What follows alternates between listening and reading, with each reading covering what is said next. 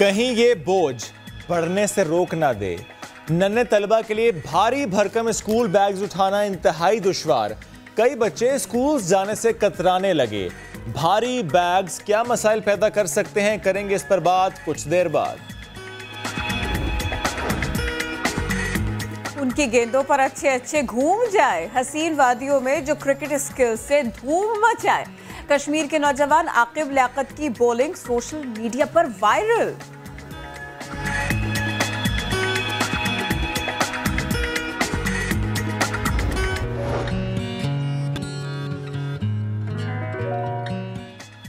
अस्सलाम वालेकुम and good morning आप देख रहे हैं नया दिन। मैं हूँ आपके साथ मोहम्मद शुएब। और मैं हूँ किरण आफ्ताब। वो बैग हमने साइड में रख दिया है और जो बैग भारी। हमारा भारी था।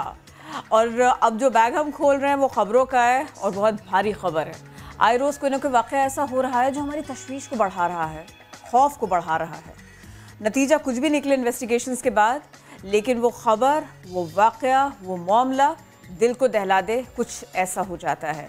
मैं कराची यूनिवर्सिटी की बात कर रही हूँ, जहाँ मैं कराची में कार सवार तालब इल्म और उसकी साथी लड़की को मुबैना तौर पर हिरासा करने का एक मुकदमा दर्ज किया गया। मामला सोशल मीडिया पर बहुत वायरल हुआ लोगों को बहुत डरा गया और इसीलिए इसको रिजॉल्व करना, इसको सॉल्व करना बहुत ज़रूरी होता जा रहा है। जो मुतासर स्टूडेंट हैं, उनकी निशानदेही के बाद ही जामिया के गैर तदरीसी अमले के छः बच्चों को गिरफ़्तार किया गया। उम्र इनकी कम है। इन्वेस्टिगेशन में ये सब कुछ सामने भी आया कि इस वाक़े में बाहर से आए चार कम उम्र लड़के भी शामिल थे। इसी हवाले से मजीद हमें बताएँगे हमारे नुमाइंदे आमिर मजीद। जी आमिर, बताइएगा आप तक की तफ्तीश में क्या कुछ सामने आया?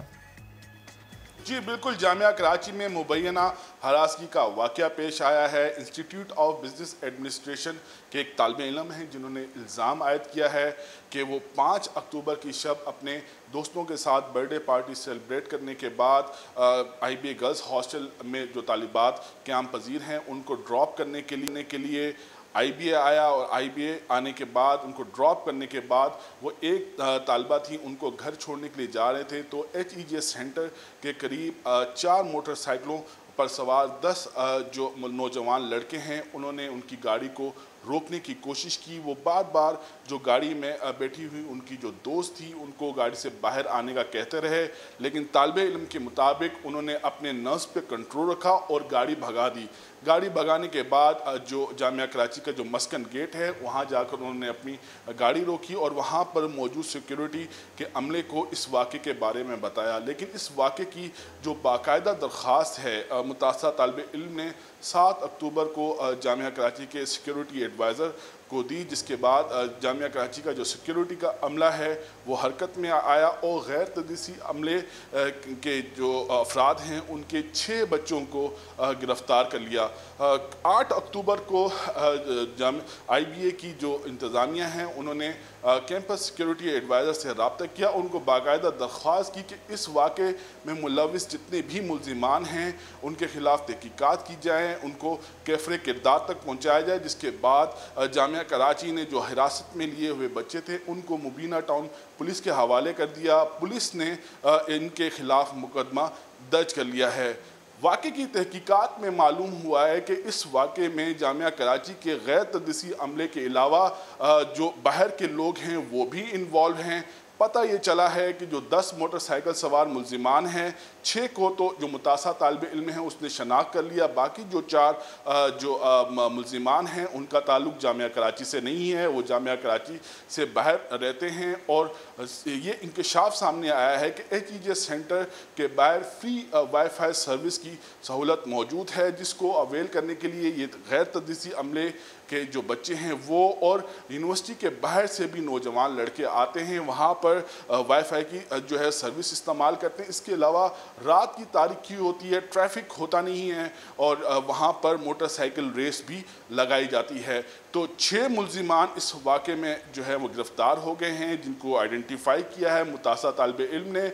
चार ऐसे मुलजिमान हैं जिनका ताल्लुक जामिया कराची से नहीं है वो जामिया कराची से बाहर हैं जो अफराद गिरफ़्तार हुए हैं उनकी निशानदही पर अब जो अदम गिरफ़्तार मुलजमान हैं जिनका ताल्लुक जामिया कराची से नहीं है उनकी तलाश शुरू कर दी गई है।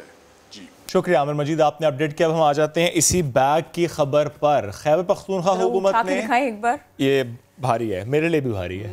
काफ़ी देर उठाना पड़े तो वाकई बहुत भारी लगता है। तो अब दिल से तजवीज़ क्या सामने आई थी? तजवीज़ सामने आई थी मेरी तरह, अगर आप बड़े स्मार्ट से हैं तो बैग और स्मार्ट होना चाहिए। आपके वेट के अकॉर्डिंगली इस बैग का वेट होना चाहिए। 10 to 15 percent of your body weight should be the bag K P government ने स्कूल बैग्स के वज़न से मुतालिक मुजवज़ा कानून तैयार कर लिया। हमने गुजशत रोज़ भी सिफारिशात आपसे शेयर की थी, तजावीज़ आपसे शेयर की थी। वालदेन और बच्चे स्कूल बैग के वज़न से मुतालिक क्या राय रखते हैं? इसी हवाले से हमें बताएँगे हमारे नुमाइंदे रहम यूसफ जई। अब मिलेगी भारी बरकम बैग से निजात। खैबर पख्तूनख्वा काबीना ने बच्चों के बैग्स का वज़न कम करने के लिए कानूनी मुसवदे की मंजूरी दे दी है। आइए देखते हैं कि वालदे इस और बच्चे इस हवाले से क्या कहते हैं।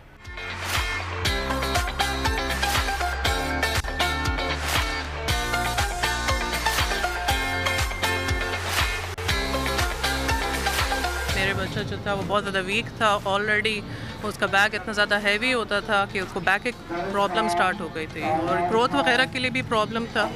तो ये एक अच्छा इनिशिएटिव है। बहुत अच्छी बात है। अगर कोई फॉलो करे। मैं भारी बैग है कि मैं नहीं उठा सकता हूँ। तो डेफिनेटली बच्चों को काफ़ी फ़ायदा होगा उससे। और ये अच्छा इकदाम है गवर्नमेंट का। तो बच्चे भी खुश और उनके वालदे भी खुश।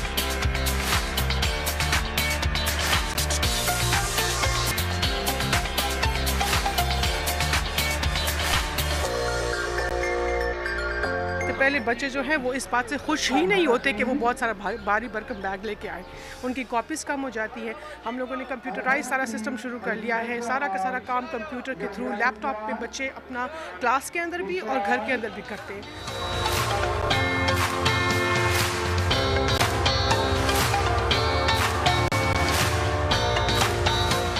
कम किया जाए ताकि हम ये बैग स्कूल ले आ सकते हैं। कमर पे ज़्यादा दर्द भी होती है जब हम लोग बैग उतारते हैं। और बुक्स रखना तो मुझे लगता है ज़्यादा अच्छा होएगा। स्कूल बैग का वज़न कम होना चाहिए क्योंकि ताकि जब बंदा जब बच्चा स्कूल बैग लेकर जा रहा हो ताकि वो कमर पे जब बोझ चढ़ता है तो वो कमर पे दर्द शुरू होना शुरू हो जाती है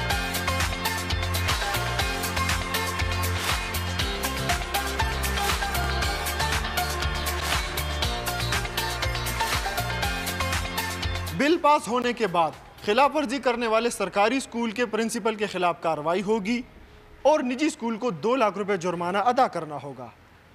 तो देखा, आपने रिपोर्ट तो देख ली। अब हम ज़रा बात करते हैं कि ये सब कुछ जब इम्प्लीमेंट होगा तो बच्चों के लिए कितना अच्छा होगा, उनकी ग्रोथ के लिए कितना अच्छा होगा?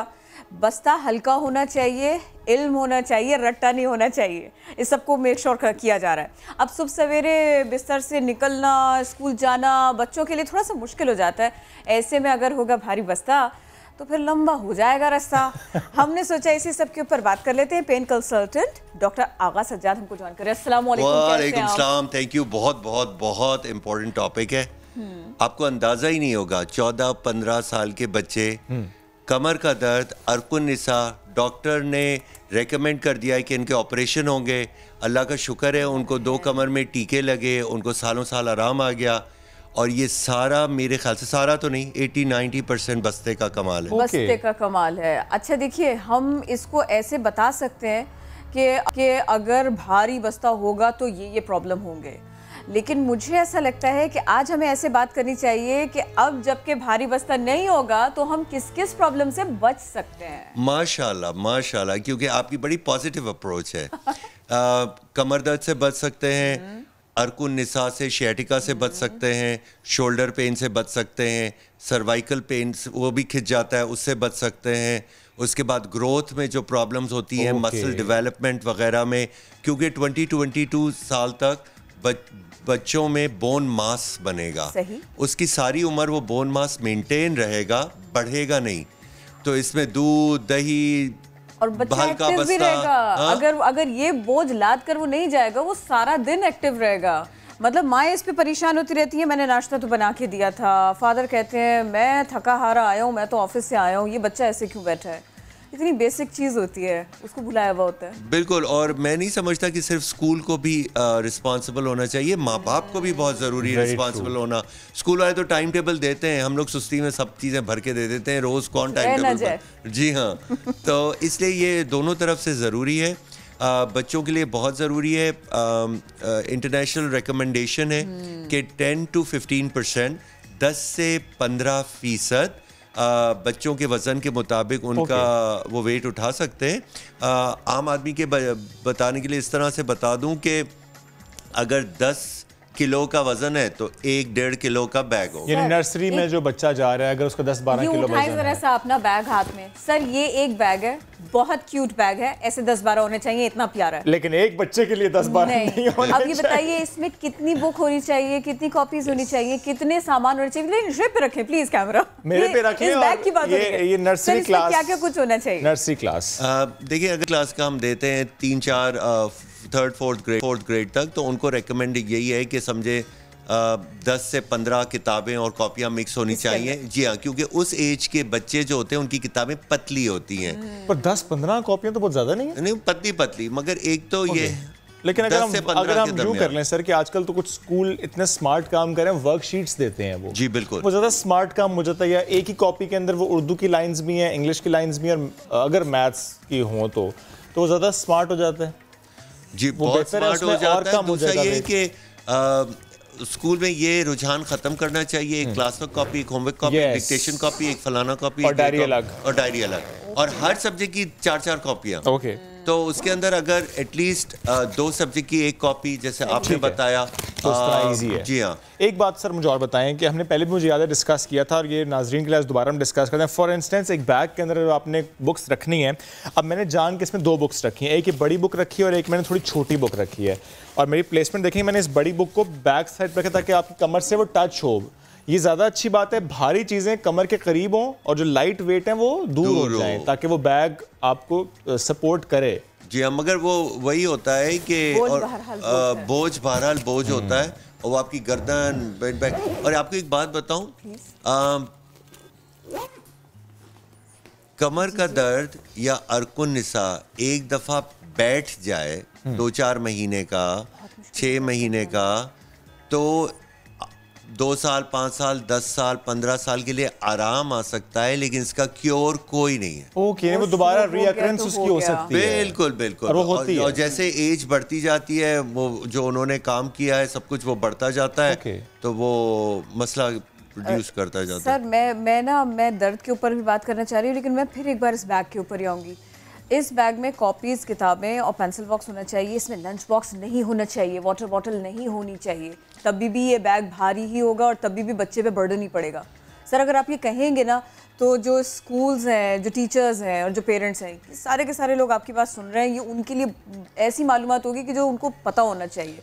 जी बिल्कुल आप सही कह रही हैं क्योंकि पहली बात तो ये जो हमने बच्चों की बात की थी अगर मैं 10 से 15 की थी तो पतली पतली कॉपियाँ। Okay. ये नहीं कि वो 250 300 पेजेस की एक नोटबुक जो होती 10 है। 15 पेज हाँ 10 10 15 नहीं अगर 25 पेज 60 60 पेज अस्सी 80 पेज पतली पतली कॉपियाँ पतली पतली बुक्स क्योंकि प्राइमरी केयर में यूजली पतली बुक्स होती हैं। और वाटर का पानी का खुद बहुत वज़न होता है। तो आप वाली बात बिल्कुल सही है कि अगर उनको एक एक्स्ट्रा वाटर बॉटल दे दी जाए जो hang कर जो हैंग कर लें शोल्डर पे या वो एक तरफ़ वो कर लिया ये वो तो उससे बहुत फ़र्क आता है। ओके तो लंच बॉक्स क्या करेंगे? वो भी लंच बॉक्स डिपेंड करता है हो ही जाना कितना कितना भर के देना है। अगर यू नो Okay. स्नैक देना है और देना तो अब घर से ही है कैंटीन वैसे भी बंद है। बंद है और दूसरा ये है कि बच्चों को स्नैक देना चाहिए। उनको पूरा लंच नहीं देना चाहिए। वैसे भी कंप्लीट नहीं करके आएँगे अगर आप हैवी लंच साथ दे देंगे। सर आप मुझे ये बताएँ कि इससे आपको लगता है कि ये फ़ायदा भी होगा जो हम पिछले कई सालों से रिपोर्ट कर रहे हैं ग्रोथ स्टंटिंग जी बिल्कुल। ये भी इसमें हल हो जाएगा। इसके अंदर भी बेहतरी आएगी क्योंकि हमारा सिर्फ़ जो है वो ग्रोथ स्टंटिंग जो है वो बैक की वजह से नहीं है Okay. बल्कि हमारी फ़िज़िकल एक्टिविटी भी कम है उसके Yes. बाद हमारी डाइट में this is one of this is one of the major contributing major contributing factor है। डाइट अच्छा था। लंच बॉक्स में हड्डियों बच्चों की हड्डियों के लिए मुफीद क्या है? सर एक दो अगर आइडियाज़ उसके ऊपर दे especially growth and development of bones है। हाँ वो उसके अंदर लंच के अंदर मतलब ये है कि आप कोई डेयरी चीज़ तो नहीं दे सकते अगर पनीर वगैरह दे दें ये वो क्योंकि वो सॉलिड smart होती है। है। हाँ लेकिन चीज़ चीज़ काउ चीज़ रखी जा सकती हाँ है। काउ चीज़ रखी जा सकती है। That is excellent that's not good that is excellent okay और uh, उसके बाद ये है कि बेसिकली बच्चों को हैबिट दें कि सुबह और रात में दूध का एक ग्लास पी लें। आपने कह दिया काउ चीज़ इज़ एक्सलेंट तो मुझे बताएँ कुछ लोग ये समझते हैं कि जो बच्चे बहुत ज़्यादा चीज़ खा रहे होते हैं वेट गेन हो रहा होता है उनका। Excess of anything is bad Okay. और ज़ाहिर है कि दो चीज़ एक portion of cow cheese a day नहीं दो भी खा दो सकते भी हैं खा लेकिन हैं। रात में जो है वो लार्ज पिज्जा खत्म नहीं कर दें। ठीक है नहीं एक दो पोर्शन उसके खा सकते हैं। ठीक। नहीं दो खा सकते हैं। बच्चों की ग्रोथ हाँ। अठारह साल तक तो अगर वो मतलब ये है कि एक दो आराम से खा सकते हैं लेकिन वो डिपेंड करता है कि और उनकी जो फास्ट फ़ूड डाइट है वो ना हो। हम्म, अल्लाह करे कि ये जो डिसीज़न है ना हल्का बस्ता ये सारे के सारे पाकिस्तान में हो जाए। अब मुझे ज़रा उन बच्चों के बारे में बताइए कि जो भारी बस्ता ले जाने की वजह से प्रॉब्लम में आ गए हैं।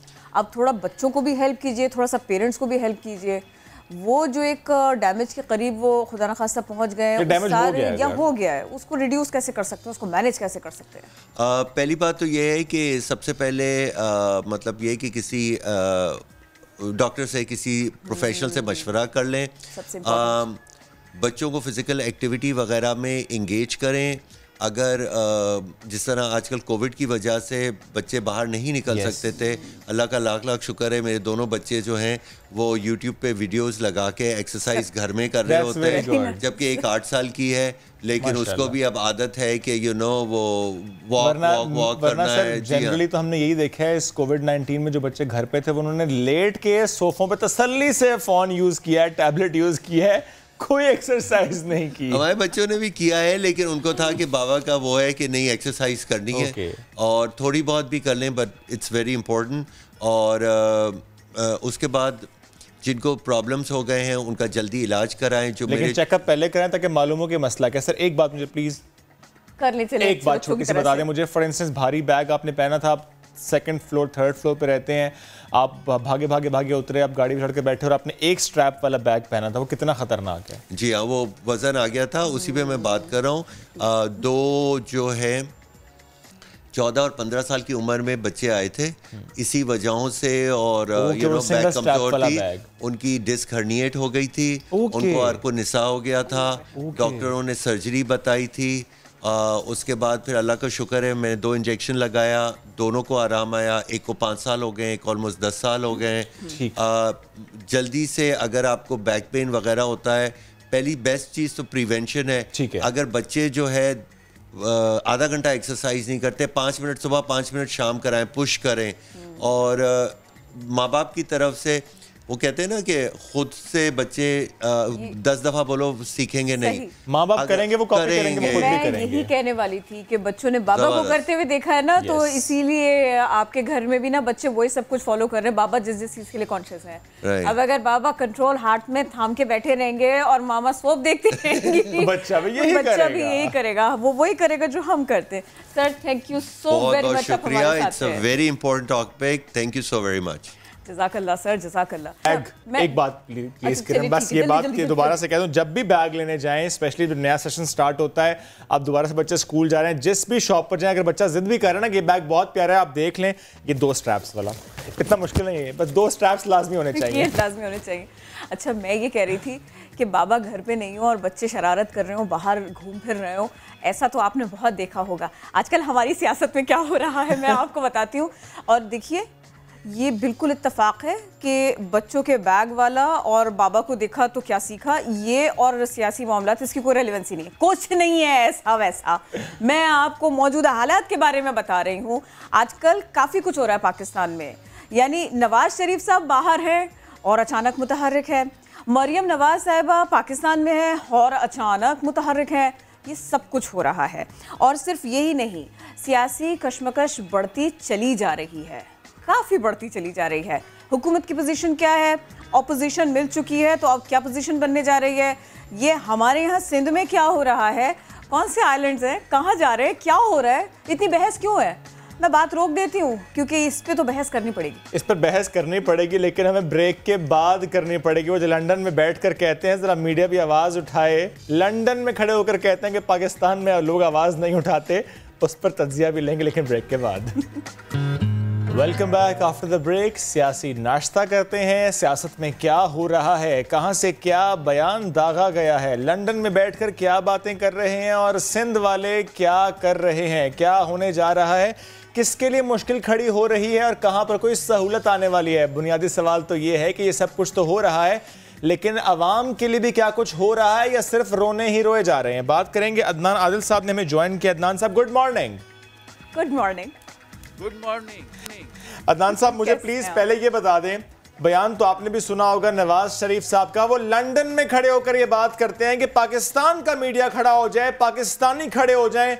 ये बात समझ नहीं आती वो हो कहते हैं चंद महीने जेल ही जाना पड़ेगा खुद जेल से भागते हैं वहाँ जाते हैं और हमें कहते हैं जेल चले जाओ। ये क्या कर रहे हैं? वो एक दफ़ा नहीं भागते बार बार भागते हैं। Yes. जनरल मुशर्रफ के ज़माने में जेल में गए थे तब भी माहिदा करके भाग गए थे और कहते रहे, गलत बयानी करते रहे कि मैंने तो कोई माहिदा नहीं किया। फिर सऊदी अरब के इंटेलिजेंस चीफ आए मकरन साहब और उन्होंने वो लहराया और लुबनान के भी हरीरी साहब और उन्होंने बताया कि ये तो माहिदा करके गए थे। तो ये इनकी पुरानी आदत है और ख़ुद इन्होंने अरबों खरबों रुपए बनाए हैं, वहाँ पे लग्जूरियस फ्लैट्स हैं, इनके बच्चों का बिज़नेस है, दोनों बच्चे वहाँ हैं, शहबाज शरीफ का दामाद वहाँ है, एक बेटा वहाँ है। तो अपना ख़ानदान तो ऐशो इशरत की ज़िंदगी गुजार रहा है और हमें कह रहे हैं चढ़ जा बेटा सूली पे राम भली करेगा। तो ये इनका स्टाइल है। असल में तो इक़्तदार की जंग है। इनको अव- अवाम से न कभी पहले कभी दिलचस्पी थी न अब दिलचस्पी है। सिर्फ़ और सिर्फ़ इकतदार की जंग है। वो दामाद जी के बारे में बताएँ थोड़ा सा। कैप्टन सफदर के बारे में बताएँ। इतनी अहम गिरफ्तारी होगी उनकी कि जिसके बाद जो है ना वो क्या पीएमएलएन की टॉप लीडरशिप क्या पाकिस्तान पीपल्स पार्टी क्या मौलाना क्या ये क्या वो क्या ग्यारह जमातें। सबसे बड़ी गिरफ्तारी होगी कैप्टन सफदर की जिसके बाद हुकूमत जो है ना वो खत्म हो जाएगी। कुछ नहीं बचेगा। जमाना कहीं खत्म हो जाएगा यानी अपने आप को वो इतना इंपॉर्टेंट कंसिडर कर रहे हैं। देखिए ये तो कुछ ऐसे मुबालगा राई सियासतदान किया करते हैं और लंबी ज़्यादा लंबी leverage ले हैं। सियासतदान। इनकी हर बात पे इनकी हर बात पे एतबार नहीं करना चाहिए। इनकी पॉलिसी कुछ होती है ये कहते कुछ हैं करते कुछ हैं सोचते कुछ हैं इनकी दो, दो अमली की पॉलिसी होती है। और इसी को सियासत कहते हैं। झूठ बोलने को मुनाफ्त अच्छा। करने को मुबालगा राई करने को जो लोग ये काम नहीं कर सकते वो सियासत नहीं कर सकते। अच्छा मुझे ये आप कुछ कह रही हैं किरण? मैं कोशिश कर रही हूँ। मैं ये कह रही थी सर ये बताइए बड़ा दिलचस्प तजिया है किसी का नहीं बहुत सारे लोगों का। कि ऑपोजिशन एक दबाव बनाती जा रही है हुकूमत पर। ऑपोजिशन का एक प्रेशर बनता चला जा रहा है। ऑपोजिशन परेशानियाँ क्रिएट कर रही है गवर्नमेंट के लिए। मुझे ये बताइए कि ये काम ऑपोजिशन कर रही है या हुकूमत अपने हिस्से में खुद मुश्किल डाल चुकी है, डालती जा रही है? दोनों बातें ठीक हैं। और हर अपोजिशन यही करती है। इमरान खान भी यही करते थे। रोज़ाना धरना जुलूस मिलियन मार्च ये वो। लेकिन इमरान खान कम अज कम जल्दी में दिखाई देते थे। ऑपोजिशन के ऊपर ये मैं एक आम राय बता रही हूँ सर। ऑपोजिशन को जलसा भी करना है जुलूस भी करना है कोरोना एसओपीज रखने भी है चलाने भी है लेकिन जल्दी किसी बात की नहीं है। हाँ नहीं मेरा ख्याल है जल्दी तो है। नवाज़ शरीफ तो चाहते हैं कि असम्बलियों से इस्तीफा दे दें फजल रहमान भी चाहते हैं। तो दे दें। वो चाहते हैं कि नए इलेक्शन का माहौल बन जाए। लेकिन पीपल्स पार्टी नहीं चाहती। और अगर पीपल्स पार्टी मुस्ताफी नहीं होगी तो फिर अपोजिशन के इस्तीफे देने का फ़ायदा नहीं सर अगर ऐसा अगर राज़ी हो भी जाए अदनान साहब अगर वो राज़ी हो भी जाए मुतहदा ऑपोजिशन हुकूमत ने तो क्लियरली बता दिया है कि आप दे दें इस्तीफे हम वहाँ पे री इलेक्शन करा देंगे। हाँ कह तो दिया है लेकिन जरा मुश्किल हो जाएगा। अच्छा आपको लगता है कि अगर मुतहदा ऑपोजिशन इस्तीफे दे तो मामला बिगड़ सकता है असम्बलियाँ टूट सकती हैं। मामला बिगड़ सकता एक तरफ़ तो देखिए जल से जुलूस हो रहे होंगे धरने हो रहे होंगे सड़कों पे एहतजाज हो रहा होगा दूसरी तरफ़ जो है आधी पार्लियामेंट खाली हो जाएगी। अदनान साहब ऐसा ऐसा माहौल बन सकता है? इतनी वेटेज है कि अगर इस्तीफे दें तो असम्बली तहलील हो जाए ऐसा हो सकता है? देखिए आधी असम्बली तकरीबन इस अपोजिशन की है थोड़ा सा फ़र्क है दस बारह का फ़र्क है। और अगर सिर्फ़ काफ लीग ही हुकूमत का साथ छोड़ दे तो हुकूमत डामाडोल हो जाएगी। काफ लीग और एम क्यू एम इनके सर पे इमरान खान साहब की हुकूमत चल रही है। अगर इनमें से एक भी मोहरा खिसका तो पूरा सिस्टम जो है वो हिल जाएगा। असल बात यह है कि ये एक माहौल बनाना चाहते हैं जिसमें इस्टेब्लिशमेंट और रियासती इदारे इंटरवीन करने पे मजबूर हो जाएँ कि नए इलेक्शन करा दें या कुछ भी कर दें। ये कहते हैं इमरान खान से जान छूट जाए चाहे मार्शल लॉ आ जाए। और ऐसा माहौल बनाना चाहते हैं नवाज़ शरीफ। और फजलुर रहमान। पीपल्स पार्टी का स्टेक है सिस्टम में। वो सिंध की हुकूमत जो है वो सोने की एक कान है। वो उसको छोड़ना नहीं चाहती है। अगर पीपल्स पार्टी जो है वो भी यकसू हो गई नवाज़ शरीफ और फजल रहमान के साथ तो फिर मेरा ख्याल है हुकूमत के लिए सीरियस प्रॉब्लम होगा। सर? लेकिन अगर पीपल्स पार्टी असम्बली से जी जी। सर अगर हम इसको ना थोड़ा सा शिफ्ट करके देखते हैं सारे के सारे मामले को। अगर इस वक्त पीटीआई अगर इस पर इस वक्त हुकूमत सिर्फ़ और सिर्फ़ पाकिस्तान पीपल्स पार्टी को थोड़ा वैसे डील कर ले, थोड़ा सॉफ्टली डील कर ले, थोड़ा सा थोड़ा सा क्वेश्चन आ जाए उसके अंदर, उतनी हार्श स्टेटमेंट्स ना हो कि जैसी दी जा रही हैं पहले दिन से, क्या ऐसा है कि गवर्नमेंट को बस इतना ही करना है? जी, ये तो शुरू दिन से बाज लोगों का ख्याल है कि सारे महाज इकट्ठे ना खोले जाएँ। पीपल्स पार्टी के साथ हुकूमत एक अच्छा वर्किंग रिलेशनशिप बनाए। बयानबाजी की ज़्यादा अहमियत नहीं हुआ करती। ये सिर्फ़ पब्लिक कंजम्पशन के लिए होते हैं अपनी कॉन्स्टिट्यूंसी को राज़ी रखने के लिए होते हैं। असल चीज़ होती है कि फसे पर्दा आप किसी के साथ क्या मामला तय करते हैं। Okay. मेरा ख्याल है किसी लेवल पे किसी बहुत हायर लेवल पे पीपल्स पार्टी की कोई ना कोई अंडरस्टैंडिंग है। अच्छा। और इसीलिए पीपल्स पार्टी जी पीपल्स पार्टी जो है पूरी तरह अभी अपोजिशन का हिस्सा नहीं है उसका किसी न किसी लेवल पे कोई अंडरस्टैंडिंग मौजूद है। सर, लेकिन एक ऐसा मामला है- खास एक ऐसा मामला जिसमें हमें लग रहा है कि अंडरस्टैंडिंग नहीं है क्योंकि आपने सिंध हुकूमत की बात की पीपल्स पार्टी की बात की तो मैं उस पर भी एक सवाल करना चाहता हूँ। इससे पहले कि मैं एक रिपोर्ट भी दिखाऊँ उस पर। सर सिंध और वफाक हम देखते हैं ये हमेशा क्रॉस क्रॉस रोड्स पे ही होते हैं। सर ये जो जजायर का मामला है इस पर भी हमने देखा ऑर्डिनेंस जारी होता है उसके बाद एक नया लेटर दिखा दिया जाता है। सर ये तनाज़ा हमें पहले भी नज़र आया और अब भी नज़र आया है। हालाँकि अब नज़र आना नहीं चाहिए था जबकि बात सिर्फ़ और सिर्फ़ बेटरमेंट ऑफ़ द सोसाइटी की हो रही है। नया शहर बनाना तो ये तो अच्छी बात है। कुछ कह दिया सिलसिले में। जी ये देखिए ये तो एक वो है ना पोस्चरिंग है ना। असल में कल तो उन्होंने कह दिया गवर्नर साहब ने कि हम बातचीत करेंगे पीपल्स पार्टी से सिंध हुकूमत से जजायर उन्हीं के हैं उन्हीं के रहेंगे। मेरा ख्याल है माल का झगड़ा है कि जब डेवलपमेंट हो तो हमें भी कोई हिस्सा मिलना चाहिए। जब भी कोई डेवलपमेंट होती है तो उसमें 10-20 परसेंट तो खाया जाता है ना। तो सारी डेवलपमेंट आप ही कर लेंगे तो आप ही सब कुछ खाएँ पिएँगे। हमें भी थोड़ा सा खिलाएँ हमारे भी कुछ हमें भी कॉन्ट्रैक्ट शॉन्ट्रैक्ट मिलने चाहिए। वो ये रूट सही तय किया सर? फाक ने सारा प्रोसीजर सही फॉलो किया? देखिए उसमें हैं प्रॉब्लम्स हैं और सर प्रॉब्लम है प्रॉब्लम्स हैं तभी तो यहाँ से यहाँ से बातें सामने आ रही हैं। ये कह देने के लिए भी थोड़ी मेहरबानी। वर्क होता है ना तो जब कोई डेवलपमेंट वर्क होता है लोगों की रालें टपकनी शुरू हो जाती हैं। आप देखिए कि हज़ारों अरब रुपए सैकड़ों अरब रुपए खर्च होंगे। अगर उसमें पाँच दस परसेंट भी खाया जाए तो अरबों रुपए जो है वो कमीशन अच्छा, मिल जाते हैं। और वो जो अगर आप थोड़ी जी अदनान तो साहब मैं तो ये कह रही थी ना कि अगर। पीटीआई थोड़ा सा थोड़ा सा इस मामले में थोड़ा सा फ्लेक्सिबल हो जाए थोड़ा सा ट्रिकी खेले तो एक छोटा कार्ड बहुत बड़ा कार्ड बन सकता है इस सारी सिचुएशन में लेकिन मैं आपका तबसरा आपका है, तजिया इस खबर के ऊपर हैं। चाहूँगी सर ये एक खबर है मेरे पास पहले हम ना इसके ऊपर बात भी कर लेते फिर मैं आपकी तरफ़ आती हूँ पाकिस्तान तहरीक इंसाफ पीडीएम की आजी तहरीक पर क्या करेगी भरपूर रद्द अमल देगी ऐसा फैसला किया गया है पीटीआई कल रावलपिंडी में तंजीमी कन्वेंशन का इनका करने जा रही है अब्बास शब्बीर हमारे साथ है उनसे मजीद बात करते हैं अब्बास शब्बीर कौन कौन शरीक रहा कौन कौन कैसे रिस्पॉन्ड करेगा? जरा कुछ बताइए हमें इस बारे में। देखें एक तरफ़ तो पीडीएम के जलसों की बात की जा रही है, दूसरी तरफ़, तहरीक इंसाफ की तरफ़ से भी एक अच्छी हमत अमली सामने आई है। फ्रंट फुट पर जाराना स्ट्रोक्स लगाने का पीटीआई ने भी फैसला किया है। साथ साथ ये भी सीनियर क्यादत ने वाजे किया है कि किसी दबाव के बगैर रियासत मुखालिफ बयानिए को अवामी कुत के भरपूर इजहार से गैर मौसर किया जाएगा। और इसी सिलसिले में कल जो कन्वेंशन एक तंजीमी जिम्मेदारियाँ संभालने वाले जो नए लोग हैं, वो कल जुमाती आइन से एक वफादारी का हल्फ लेंगे और इसके लिए एक बड़ा कट किया गया है रावलपिंडी लियाकत बाग में, जहाँ पर एक तंजीमी कन्वेंशन के नाम से एक कन्वेंशन मुनक्कद किया गया है, जहाँ पर तहरीक इंसाफ के पाकिस्तान भर से जो तंजीमी लोग हैं, वो कल इस कट में शिरकत करेंगे।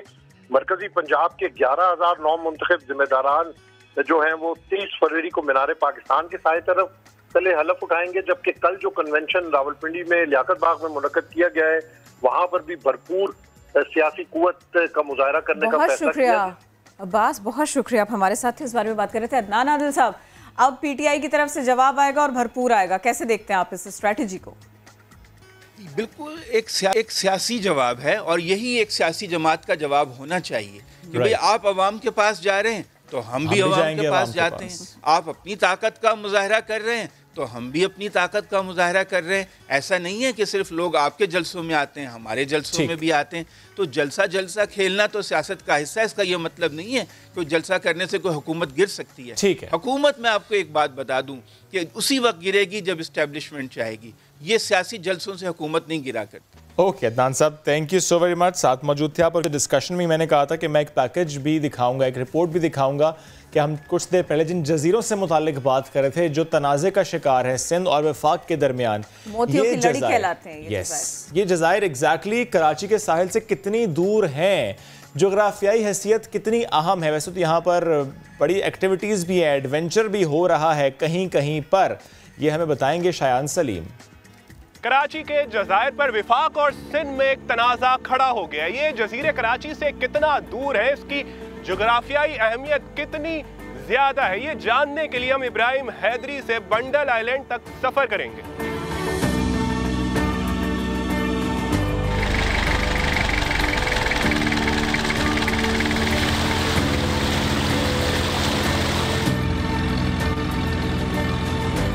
पैंतालीस मिनट सफ़र के बाद हम बंडल आइलैंड पर पहुँच चुके हैं। इसके खास मनाजिर देखते हैं।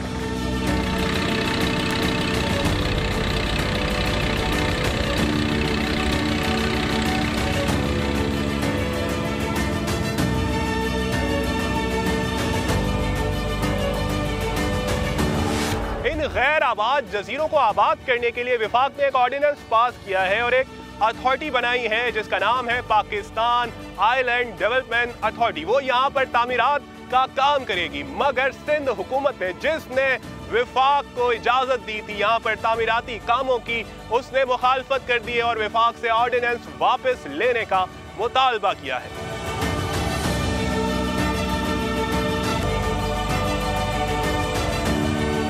बंडल आइलैंड को मकामी लोग भंडार आइलैंड भी कहते हैं। इसके साथ दीगर जजीरे भी हैं और तकरीबन बारह हज़ार एकड़ से जायद रकबे पर ये जजीरे फैले हुए हैं।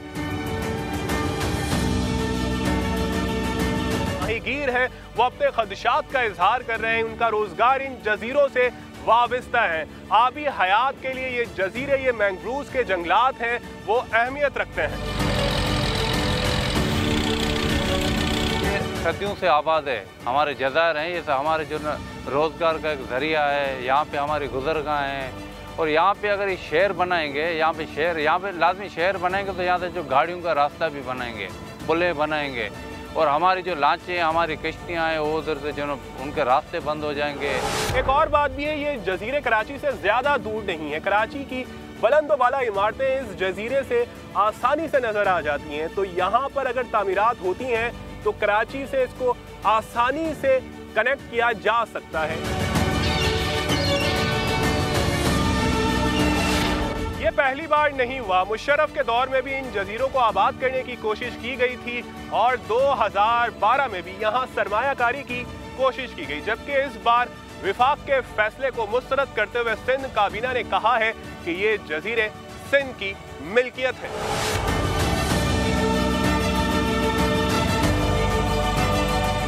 दुनिया भर में जजीरों को आबाद करने के लिए भरपूर प्लानिंग की जाती है। इसकी ताज़ा मिसाल दुबई है, जहाँ जजीरे के अंदर पूरा शहर आबाद करके सालाना अरबों डॉलर कमाए जा रहे हैं। हमारी तरक्की कब तक सियासत की नज़र रहेगी, कुछ नहीं पता। कैमरामैन फैसल आगाई के साथ शायान सलीम, सामा, कराची। चलिए, ये मामला वक्त पर छोड़ते हैं। इस वक्त ज़रा हम बदलते वक्त की बात करते हैं। भाई ट्रेंड्स बदल रहे हैं और इस सब के साथ साथ लोगों की चॉइसेस भी बदल रही हैं डेवलप हो रही हैं। आपने सुना होगा ना कि माइयों के लिए अलग जोड़ा और मेहंदी के लिए अलग जोड़ा और अगर दोनों एक साथ हो जाए तो? निकाह के लिए अलग जोड़ा, वलीमे के लिए अलग हो जा, जोड़ा और अगर फिर मामला श्रिंक होकर के सिर्फ़ तीन तीन इवेंट्स के ऊपर आ जाएँ दो दो इवेंट्स पे आ जाए तो दूल्हा दुल्हन के लिए अलग मुश्किल और रिश्तेदारों के लिए उससे भी ज़्यादा मुश्किल। हजरात, क्या कर सकते हैं? शुएब ने थोड़ी सी एफर्ट की, बहुत सारे कपड़े आप लोगों के लिए इकट्ठा कर लिए। मैं दिखाती हूँ जी, क्या देखा इन्होंने, क्या हमें समझाने की कोशिश की।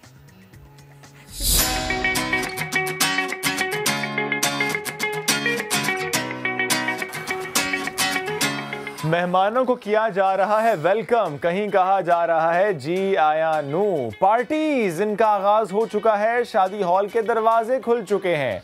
एसओपीज का ख्याल रखिए, जहाँ भी जाइए, मास्क ज़रूर पहन कर जाइए। लेकिन अब क्योंकि ट्रेंड्स बदल रहे हैं कोविड 19 के बाद जब पार्टीज़ का दोबारा से आगाज़ हुआ है तो अब हम सोच ये रहे हैं कि क्या पहन कर जाएँ। क्योंकि काफ़ी अरसे बाद जब पार्टी पर जाना है तो ये सोच कर जाना है कि सबसे अच्छा दिखना है, सबसे प्यारा लगना है। तो आज हम इस सब की बात करेंगे पार्टी वेयर की बात करेंगे। ना दूल्हा, ना दुल्हन। पार्टी गाय की बात करेंगे वो क्या पहनकर जाएगा तो सबसे मुनफरद दिखेगा। ये जानने के लिए मेरे ज़रा साथ रहिए। अस्सलाम कैसे हैं आप? अल्हम्दुलिल्लाह। हम पहुँच चुके हैं अब्दुल्ला हारून के पास और आज हम ज़रा सीखने की कोशिश करेंगे और आपको सिखाने की कोशिश करेंगे कि इस सीज़न में क्या पहनना है अगर किसी पार्टी का इनविटेशन आ चुका है और अब जाना भी लाजमी है। वक्त बड़ा कम है स्मार्ट शॉपिंग करनी है स्मार्ट आइडियाज़ एग्जीक्यूट करने हैं। अब्दुल्ला भाई मेहंदी हो शादी हो या वलीमा हो और फिर या शैंडी हो या शंडलीमा हो हम स्टार्ट करते हैं मेहंदी से। और प्लीज़ मुझे थोड़ा सा बताइएगा कि अब कोविड 19 के बाद जब एस के साथ अब पार्टी इवेंट्स हो रहे हैं लोग जा रहे हैं शादियों पर और अदरवाइज़ किसी और गैदरिंग में भी। तो स्टार्टिंग फ्रॉम मेहंदी क्या नया ट्रेंड इन है? देखें असल में अब कोविड के बाद और एस के साथ लोग शॉर्ट नोटिस पे अपने ओकेजन्स को कर रहे हैं। Right. क्योंकि कुछ नहीं पता कि कब लॉकडाउन स्टार्ट हो जाए। तैयारी कर लें और हाँ, तैयारी कर लें और अच्छा खासा स्पेंड हो जाए तो लोग शॉर्ट नोटिस पे मिनिमम स्पेंड करके अपने ओकेजन्स को कवर करना चाह रहे हैं। तो उस हवाले से अगर देखा जाए अगर आप मेहंदी पे जाते हैं तो बहुत बेसिक्स पे अगर हम जाते हैं तो इस तरह के डिज़ाइन भी बहुत इन हैं। आप प्रेफर क्या करेंगे इस कलर को? वाइट के ऊपर? इसको हम मिल्की वाइट पे वेयर कर सकते हैं। बहुत अच्छा इसका लुक आएगा। ठीक है? मेहंदी तो के हो गया। मेहंदी का आपने आसान सा हल बता दिया। सिंपल कलर के साथ रहें बेसिक्स के साथ बेसिक्स के साथ किसी भी शादी में अगर आप जा रहे हैं तो यू कैन अवॉइड करें। Full embroidery depends on your function कि वो आपसे कितने क्लोज हैं। Okay. अगर बहुत ज़्यादा क्लोज हैं आपने बहुत अच्छा कुछ वेयर करना है तो हम उसके हवाले से थोड़ा हैवी पे For भी जा instance, सकते हैं। लड़के का भाई है या लड़की का भाई है? अब क्या करें? अगर लड़के का भाई है तो मेरे ख्याल से हम कुछ इस तरह का भी फेस कोट वेयर कर सकते हैं। फुल है इसमें। एम्ब्रॉयड कुछ डिज़ाइन ठीक है? और जल्दी में बनेगा नहीं अब्दुल्ला भाई लेकिन। जल्दी में बनेगा नहीं लेकिन इसको हम रेडीमेड पे भी जा सकते हैं। रेडीमेड पर भी जा सकते हाँ, हैं ठीक है? ठीक हो गया। अच्छा अब मुझे बताएँ अब्दुल्ला भाई कि ये तो होगी मेहंदी। इससे हम्म। पहले कि मैं उस इवेंट पे जाऊँ जो कि मेहंदी और शादी इकट्ठा होता है हम्म। हम अगर बारात की बात कर लें और करीबी भी लड़की और लड़के के भाई कज़न हम्म। भी और अदरवाइज़ भी फ्रेंड सर्कल में। वैसे तो ज़ाहिर है बड़ी लिमिटेड गैदरिंग्स हो रही हैं और बड़े करीबी ही रिलेटिव्स को बुलाया जा रहा है। तो क्या प्रेफर किया जा रहा है बारात के लिए? बारात के हवाले से अगर हम जाते हैं तो कुछ कलर्स जो है सबसे पहले प्रेफर किए जाते हैं ब्लैक या ब्लू अच्छा आप अच्छा आप बारात पे भी प्रेफर करेंगे शलवार कमीज हो और और वेस्ट कोट हो क्योंकि अब वेस्ट कोट्स या प्रिंस कोट्स हो गए बहुत ज़्यादा इन अच्छा अब मुझे बताएँ अब्दुल्ला भाई के लोग हो गए बड़े स्मार्ट वो इवेंट्स करते हैं ज़रा लिमिटेड यानी लिमिटेड गैदरिंग के अलावा फ़ंक्शंस को भी लिमिटेड कर दिया। फॉर इंस्टेंस अब मेहंदी एंड शादी को वो एक इवेंट करना चाह रहे हैं उसमें उनकी ख्वाहिश ये है कि वो मेहंदी की लुक भी आ जाए। हम्म। शादी वाला मामला भी लगे नहीं बारात का फ़ंक्शन भी लगे। शैंडी अब इस पर जाना है क्या पहन कर जाएँ? थोड़ा मुश्किल सवाल है क्योंकि आपने सिंगल फ़ंक्शन के अंदर दो फ़ंक्शंस को कवर करना है ठीक है। उसके लिए मेरे ख्याल से अगर हम कुछ ऑफ़ वाइट्स को बेस बनाएँ और इस तरह की कोई मोटिव्स वाला वेस्ट कोट वेयर करें ठीक है? अ, आप लोग देख रहे होंगे हम लोग वेस्ट कोट की बहुत बात कर रहे हैं। तो वेस्ट कोट बहुत ज़्यादा फ़ैशन के अंदर है। ठीक है। और हैवी सूट्स इन फ़ैशन बिल्कुल भी नहीं है। ठीक है? प्लेन सूट्स पे लोग बहुत ज़्यादा जा रहे हैं। तो वेस्ट कोट एक ऐसा होता है कि आपने वेस्ट कोट पहन के एक अच्छी सी एंट्री दे दी। अगर आपका बाद में मूड बनता है तो आप उसको रिमूव कर रिमूव कर सकते हैं। अच्छा Exactly. If I am not wrong तो अगर कोई निकाह का इवेंट हो तब भी ये बहुत अच्छा लगेगा? निकाह के हवाले से ये काम थोड़ा ज़्यादा है लेकिन अच्छा। ये कि हम इसको जैसे निकाह के अंदर हम इसको कन्वर्ट कर सकते हैं कोई आप इसमें गोल्ड पे मोटिव कर लो यानी तो बाकी मोटिव्स हम लेस या कर दें लेस कर दें एक मोटिव हो सिर्फ़। बिल्कुल। प्लेन सूट्स पर लोग जाते हैं तो इसके हवाले से मुझे बताएँ कि कौन से कलर्स इन है कौन सा फैब्रिक इन है कौन सा स्टाइल इन है? प्लेन सूट के हवाले से जाया जाए तो मेरे ख्याल से अगर हम वलीमे साइड पे जाते हैं तो बेस्ट है कि एक ये कलर है काई ग्रीन Sky जो कि बहुत डिफरेंट है क्योंकि हम देख रहे हैं नॉर्मली लोग black blue grey grey charcoal grey से थक चुके हैं। तो मेरे ख्याल से जैसे ये है काई ग्रीन बहुत इन है आजकल ठीक है? ये ये कलर है काई ग्रीन इस पर भी जाया जा सकता है और कुछ आजकल स्ट्राइप्स भी इन है। तो आप देखें स्ट्राइप्स के हवाले से बहुत डिफरेंट स्ट्राइप्स हैं। आप देख रहे हो? ये ये ब्लैक पे ब्लू स्ट्राइप्स आ रहे हैं। ठीक। और ये बहुत एक डिफरेंट बहुत एन भी हैं स्ट्राइप okay. बहुत एन है इस टाइम और कलर्स uh, के हवाले से जाया जाए तो बहुत डिफरेंट कलर हैं अच्छा आप ये सरा सजेस्ट करें लोगों को कि किसी को हम कोई चीज़ पहना जब देखते हैं तो हम सोचते हैं और ख्वाहिश करते हैं अच्छा हमने भी ऐसा ही पहना। For instance double button coat देखा तो अच्छा ये हम पहन ले। तो बताएँ कौन सा कोट किसके लिए है और किसके लिए नहीं है? सिंगल बटन डबल बटन और डबल ब्रेस्ट देखें डबल बटन तो बेसिक सबसे ज़्यादा है। बेसिक है। लेकिन क्या है कि आपकी बॉडीज़ पे डिपेंड करता है। अगर आपको सिंगल बटन आपकी बॉडी पे सेट लग रहा है बहुत अच्छा सूट कर रहा है आपकी फिजिक पे तो आप सिंगल बटन भी वेयर कर सकते हैं। जब बताएँ कि ये मैंने ट्राई किया आज। मैंने कभी इस तरह ट्राई नहीं किया कि मैं ट्राउज़र एंड शर्ट के ऊपर वेस्ट कोट पहनूं। ये क्या पहना जा रहा है आजकल? अगर पहना जा रहा है तो किन इवेंट्स पे? बिल्कुल आप जैसे मेहंदी हो गई या okay. कोई भी फ़ंक्शन हो गया इवन वलीमा ओके आप ये पैंट शर्ट पहन के ऊपर कोई अच्छी सी वेस्ट कोट पहन के जा सकते जा सकते हैं। लेकिन इसके नीचे शूज़ बहुत अच्छे से होने चाहिए। शूज़ का भी एक बहुत मेन फैक्टर है। विंटर से की मुनासबत से मैं पूछना चाह रहा था कि फैब्रिक वो भी ज़रा मोटा हो क्योंकि ज़ाहिर है ऐसा तो हम करेंगे नहीं ना कि अंदर भी स्वेटर पहन लें और ऊपर भी स्वेटर पहन। लें और फिर कोट पहने especially I am talking about the persons who living in north या अपर एरियाज़ ऑफ़ पाकिस्तान जहाँ ठंड ज़्यादा पड़ती है। वैसे तो कराची में भी सुन रहे हैं इस बार ठंड ज़्यादा पड़ेगी। आप क्या करें ओके फाइन आपने ये निकाला। देखिए ये एक हमारा ब्लेज़र है जो कि हम विंटर के हवाले से दी बेस्ट है। अच्छा खासा मोटा है? अच्छा खासा मोटा है। वुलन में बना हुआ है। उसके अलावा आप इसको किसी भी हाई नेक पे पहन सकते हो। ओके एग्जैक्टली आप किसी कोई भी टी शर्ट वेयर कर लो। ये इतना गर्म है कि आपको इसके बाद रज़ाई की ज़रूरत रजाई की ज़रूरत आप इसको मरी में भी वेयर कर सकते हैं। क्या बात है शादी हो मरी में तो फिर आप बिल्कुल ये मरी वालों तो के लिए बहुत ज़बरदस्त सौगात है। क्या बात है ये कराची से सौगात जाएगी शादी के लिए वहाँ पर जिसने भी अच्छा उसके अलावा उसके अलावा एक ये भी हमारी जैकेट है जो कि हम इसको कहते हैं थोड़ा सा आपने ओल्ड पैटर्न पे रखा है इसको। बिल्कुल आजकल आजकल ये सारे इस तरह के कट्स भी इन हैं। ये सफारी स्टाइल है? Exactly exactly. देखिए मुझे कितना पता है बिल्कुल आप बहुत शौक रखते हैं। तो उस हवाले से देखा जाए ये भी विंटर के हवाले से ही यूज़ हमने किया है इस फैब्रिक को। ये आपको लगता है कि यंग जनरेशन प्रेफर करेगी या नहीं?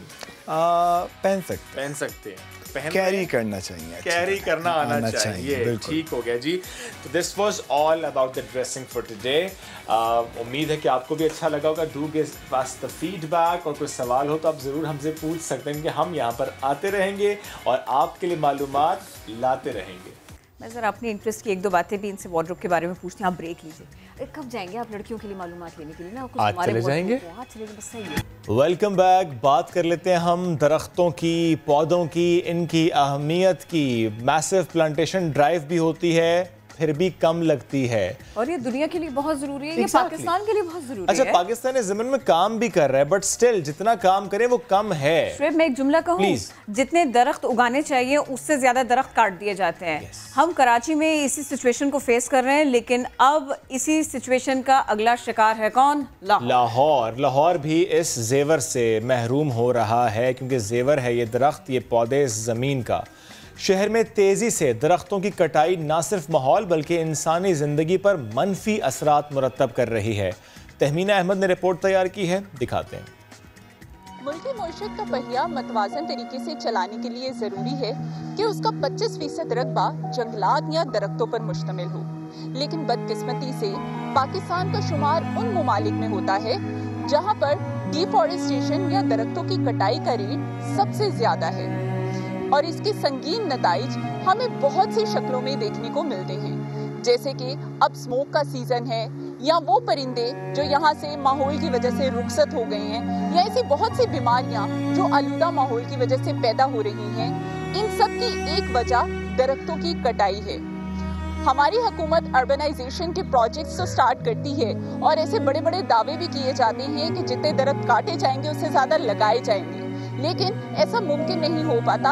या जो दरख्त लगाए जाते हैं, जिनकी प्लांटेशन की जाती है, उनकी उस तरह से मेंटेनेंस नहीं की जाती।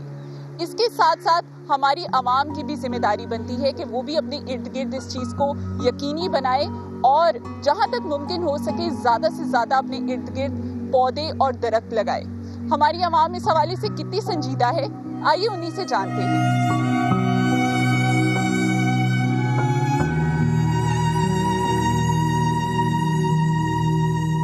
एक जगह दरख्त कट काट रहे हैं उसकी जगह हमें फिर वही जगह पे पौधे लगाने चाहिए ताकि और भी हमें दरख्त मिले।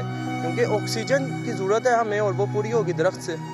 अगर आप दरख्त उतार रहे हैं फिर लगा भी रहे हैं लेकिन वो शहरों में नहीं लग रहे। तो जो शहर में इफ़ेक्ट होना चाहिए वो आप उसको कम्प्लीटली डिप्लीट कर रहे हैं। ठीक है अगर आप पहाड़ों में लगा रहे हैं या कोई तीसरी जगह पे लगा रहे हैं छांगा मांगा में और दरख्त लगा रहे हैं उसका लाहौर में कोई इफ़ेक्ट नहीं हो रहा। ज़्यादा से ज़्यादा पौधे लगाएँ अपने इर्द गिर्द में और कल्टीवेशन आप ज़्यादा करें जो पैरन लैंड से उसको आप कन्वर्ट करें आप कल्टीवेशन एरियाज़ में। इस तरह से आप you can transform this society you can make the world into a peaceful land just like that जी जैसे कि हम जानते हैं कि पौधे जो है ना बहुत ज़रूरी हैं। ऑक्सीजन रिलीज़ करते हैं इंसान उसे यूज़ करता है। तो लेकिन जहाँ पर आजकल हमारे इन्वायरमेंट की बात आती है तो डिफ्रेस्टेशन हो रही है हर तरफ़। दरख्त लगाए जाएँ और ताकि जो है वो हमारा इन्वायरमेंट जो है वो इससे क्लीन रहे, साफ़ सुथरा रहे।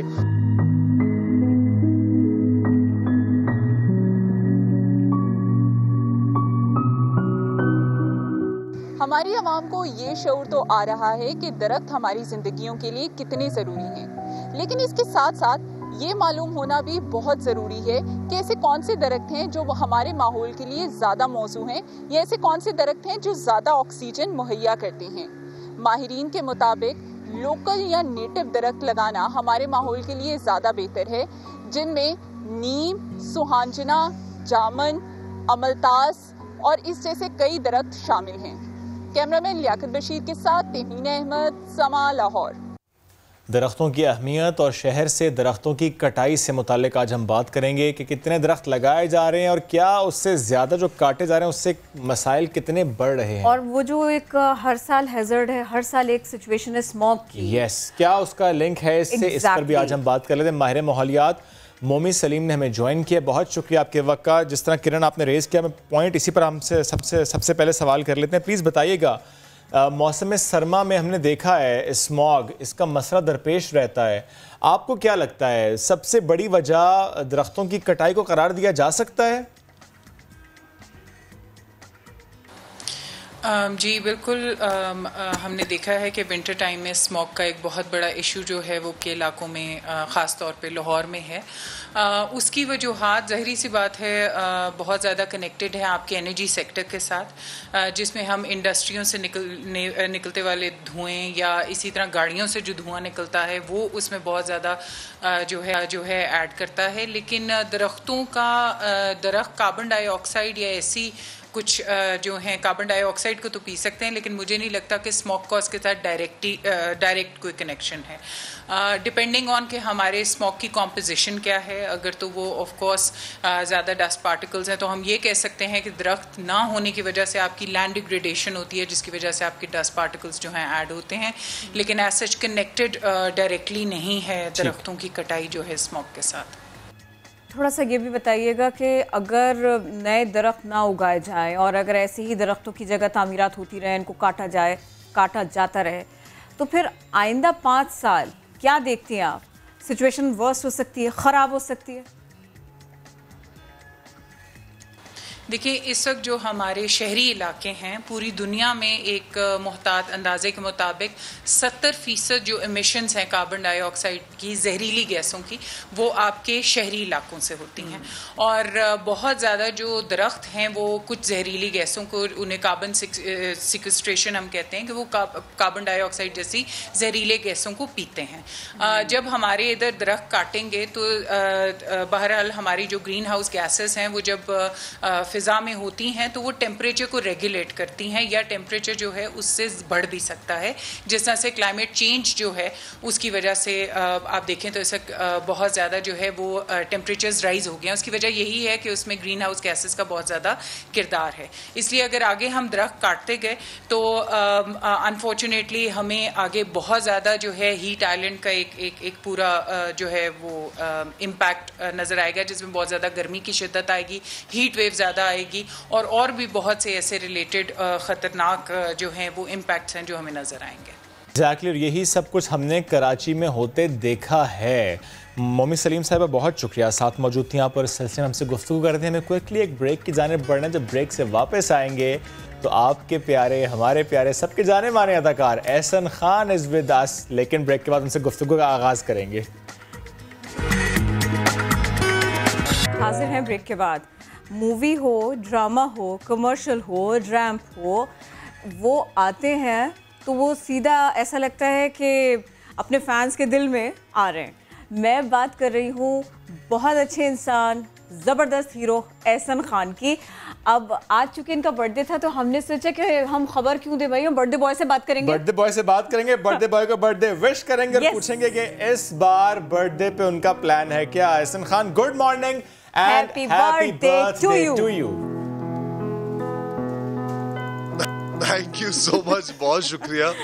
और मैं आपको ये बताऊँ कि एक तो आप लोगों का शुक्रिया कि आप लोग विश कर रहे हैं। I am so happy thank you very much ये एक वो कहते हैं ना प्यार और मोहब्बत का एक इजहार है आप लोगों की Yes. तरफ़ से जो जब नज़र आता है कि लोग मोहब्बत करते हैं तो बहुत अच्छा फील होता है। लेकिन अब मेरी मोहब्बत भी देख लीजिए कि मैं रात को सोया हूँ चार बजे यानी सुबह। सुबह सोए और मैं आपकी मोहब्बत में सुबह उठ गया हूँ। अब आप ये देखिए कि बर्थडे वाले दिन लोग देर तक मैं आप लोगों की मोहब्बत में उठ के बैठ गया हूँ। बस मोहब्बत और ये जो मैंने चश्मा इसलिए लगा ली क्योंकि जब और मैं मैं नहीं नहीं मैं आपको बताना चाह रहा हूँ लोग देख रहे हैं ये पहले मेरे साथ पहले भी हो चुके मैंने चश्मा इसलिए मैंने ग्लासेस इसलिए लगा ली कि ताकि जो मेरी सोई सी आँखें नज़र नज़र, ना आए। और मैं कोशिश कर रहा हूँ एक्ट एक्टिंग कर रहा हूँ जागने की कि मैं बिल्कुल जागा हूँ। कमाल बहरहाल thank you so much thank you भाई अब एक तो ये कि जिए हज़ारों साल दूसरे ये कि अब एहसन खान के लिए ईद हो बकरीद हो बर्थडे हो नया साल हो सिर्फ़ सेलिब्रेशन नहीं होती उसमें एक बहुत अच्छी कोशिश भी होती है और आप हमें वक्त देते हैं सर हमें तो बहुत अच्छा लगता है। तो मुझे ये बताइए कि नहीं नहीं आप लोगों का प्यार है थैंक यू अब मुझे बताइए ना हम इसे सुबह चार बजे से क्यों आपकी स्ट्रगल को खाली देख रहे हैं? आप हमें रात बारह बजे से क्यों नहीं बता रहे? किस किसने विश कर हाँ, दिया? सबसे पहले किसने विश किया? ये ये बताएँ। किसने 12 बजे उठा के विश किया? आप तो सो, आप तो सोए ही नहीं थे ना। आप मुझे आप बताएँ क्या कर रहे थे? मतलब कुछ नहीं, फ्रेंड मैं सोया ही नहीं मुझे उठा के विश नहीं सबसे पहले देखे देखे ये जो ट्वेल्व ओ क्लॉक का राइट होता है ना ये आपकी फैमिली का होता है। तो 12 बजे से पहले कोई मिलने आ गया या 12 बजे के बाद हम लोग कहीं चले गए या किसी दोस्त से मिल लिया वो एक डिफरेंट बात है। But twelve o'clock in fact पौने बारह बजे मेरे एक, मेरा भाई है वो as an he a friend he was here उसको मैंने बोला भाई बारह बजने वाले तो तुम्हारा टाइम जो है वो क्रॉस हो चुका है जाओ। Okay. और ट्वेल्व ओ क्लॉक मेरी बेगम का दस मिनट पहले फ़ोन आना कि बारह बजे तो I am coming to as in we were in the same house obviously but she was in her room और मैं नीचे ड्राइंग रूम में बैठा हुआ था। उन्होंने कहा चले गए तुम्हारे दोस्त वोस्त मैंने कहा हाँ बारह बजे फ्री हो गए तो नहीं गए तो भेजो। Family time twelve o'clock ज़बरदस्त ये तो आपने बड़ा अच्छा मैसेज भी नहीं गए तो भेजो भेजो। बर्थडे नहीं गए तो भेजो। तो 12 बजे का टाइम प्योरली फैमिली टाइम है अब मुझे बताएँ हसन जब हम सेलिब्रेशन की बात करते हैं हमने देखा लास्ट टू ईयर स्पेशली अगर हम बात करें 2018 में भी आपने बड़ी स्पेशल बर्थडे सेलिब्रेट की थी आप स्पेशल बच्चों के साथ थे और वो दिन वाकई बड़ा स्पेशल था। उसके बाद हमने 2019 लास्ट ईयर भी देखा जो कैंसर से लड़ रहे थे बच्चे, जो टर्मिनली एल्ड किड्स थे, आपने उनके साथ बर्थडे मनाई। उनके तो हीरो उनके दरमियान थे, इसलिए उनका भी दिन बड़ा अच्छा गुजरा। आज का क्या प्लान है? इस बर्थडे 2020 की बर्थडे का प्लान क्या है? मैं बिल्कुल अब थैंक यू यार मैं बड़ा इम्प्रेस हूँ आपको याद है ये बात। यहाँ तो दो दिन पहले कोई बात हुई हो तो वायरल भी हुई हो तो भूल जाती है। अब तो लाइफ चीज़ों की इतनी रह गई है कि किसी को याद ही रहती। लेकिन मुझसे कल भी किसी ने सवाल किया कि बर्थडे सेलिब्रेट कैसे करते हैं तो मैं ये बल्कि बड़ा एक मैसेज भी I want to put across कि it's very important not to just spend money on yourself और आप करें ज़रूर। अल्लाह ने अगर किसी को जितने भी दिए हैं ज़ाहिर ख्वाहिशें भी होती हैं इंसान की। हम्म। ज़रूर पूरी करें। लेकिन वो जो आपको जो चीज़ें खुश करती हैं वो बाकी सब जो है ना वो बड़ी टेम्प्रेरी चीज़ें हैं। लेकिन जो असल खुशी है ना वो ये है कि दूसरों को खुशी दें। तो मैं आपको अपने बेटे की बात बताता हूँ मेरे बेटे की बर्थडे थी। Okay. तो पाँच साल का माशाल्लाह ये हो रहा था। आज से तीन साल पुरानी बात कर रहा हूँ। माशाल्लाह he is eight now so I took him to a small slum जहाँ पे मैं अक्सर जाता रहता हूँ। वहाँ पे झोंपड़ियों में लोग रहते हैं। और काफ़ी बुरी कंडीशन में आप जानते रहते हैं उनसे मेरा एक बड़ा प्यार और ताल्लुक रेगुलर कायम हो गया उन लोगों के साथ। तो उसकी जब बर्थडे आई तो ये ज़ाहिर है स्कूल में अपने दोस्तों की बर्थडे देखता रहा और मैं इसको वहाँ ले गया वहाँ पे उन बच्चों के सामने केक काटा उन बच्चों के साथ गिफ्ट इसको मिलने की बजाय हमने उनको गिफ्ट दिए। तो ये गाड़ी में क्योंकि पाँच साल के तो गाड़ी मुझे बैठ मुझे बैठ के मुझे पूछ पूछ रहा है कि बाबा मैंने कहा did you enjoy your birthday कहता बेचारे ने ऊपर ऊपर से बोला yes I did enjoy it but they were the swings और झूले और वो जो चले? गए वो देखता आया अच्छा मुझे घर आके मुझे अब वो देखता। तो मैंने फिर अपनी बेगम को बोला मैंने कहा यार इसकी एक छोटी सी बर्थडे करना भी ज़रूरी है ताकि बच्चों की जो एक खुशी होती है वो भी पूरी करें। लेकिन एक अच्छी आदत भी बच्चों को। हम्म, तो आज भी ऐसा ही कुछ प्लान है. कि कुछ खाना वगैरह बना के कुछ चीज़ें जमा करके तो किसी को हम देने जाएँगे। माशाल्लाह माशाल्लाह ज़बरदस्त। अच्छा देखिए अच्छा काम और मुश्किल वक्त दोनों नहीं भुलाए जा सकते। आपने अच्छा काम किया हमने याद रखा।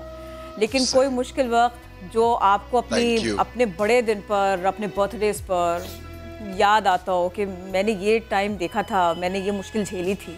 कुछ कुछ ऐसा अगर आप शेयर करना चाहें। वैसे तो आज सब कुछ बहुत अच्छा होना चाहिए लेकिन आप चूँकि बहुत अच्छे अल्फाज का इंतखाब करते हैं कड़ी नहीं, नहीं। कड़वी से कड़वी बात के लिए इसलिए पूछ रही हूँ। नहीं। अच्छा एक तो अ, मैं समझता हूँ कि कोई भी वक्त इज़्ज़त के साथ और मोहब्बत के साथ और सेहत के साथ जिस तरह अभी आजकल कोरोना बहुत अरसे से प्रॉब्लम आप पूरी दुनिया में देख रहे हैं और उसकी वजह से बहुत जॉबलेसनेस हुई बहुत तकलीफ़ में भी लोग आए तो अगर अच्छा वक्त गुजर जाए तो उस पर तो बड़ा रब का शुक्र अदा करना चाहिए। माशाल्लाह मतलब मुझे अल्लाह का बड़ा करम है कोई ऐसा वक्त नहीं आया कि जिसको इंसान याद करता है और तकलीफ़ में अ, हो। बस ये है कि मुझे लगता है कि वो भी जो किसी पे अगर वक्त आता है या हम पे भी कोई ऊपर नीचे प्रॉब्लम आती है तो वो भी हमारे हमें कुछ सिखा के जाता है। And we should learn through that बस एक चीज़ है कि जब जब आपकी फैमिली बिकॉज़ मेरी फैमिली थोड़ी स्कैटर्ड है। My father is in England my mother आजकल is in Pakistan my brother is in Malaysia my one sister is in London one is in Lahore तो वो एक जो इमीडिएट फैमिली Okay. का scatter होना है ना वो कभी कभी ईद नहीं है एहसन वो पूरी दुनिया में छाए हुए हैं आपका पूरा आपकी पूरी फैमिली छाई हुई है। नहीं मुझे मैं मैं ये समझ मैं देखिए आप पता है मैं बड़ी कभी कभी एज के साथ साथ इंसान अपनी सोच भी बदलता है यूथ में। यूथ से मतलब यूथ तो अभी भी है हमारा लेकिन जब आप 25 साल के होते हैं तब तो आपका दिल करता है ना आप दुनिया एक्सप्लोर एक्सप्लोर करें और भाग जाए और इधर उधर चले जाएँ। लेकिन मैं ये समझता हूँ कि फैमिली यूनिट जो है ना जो पाकिस्तान में खूबसूरती है।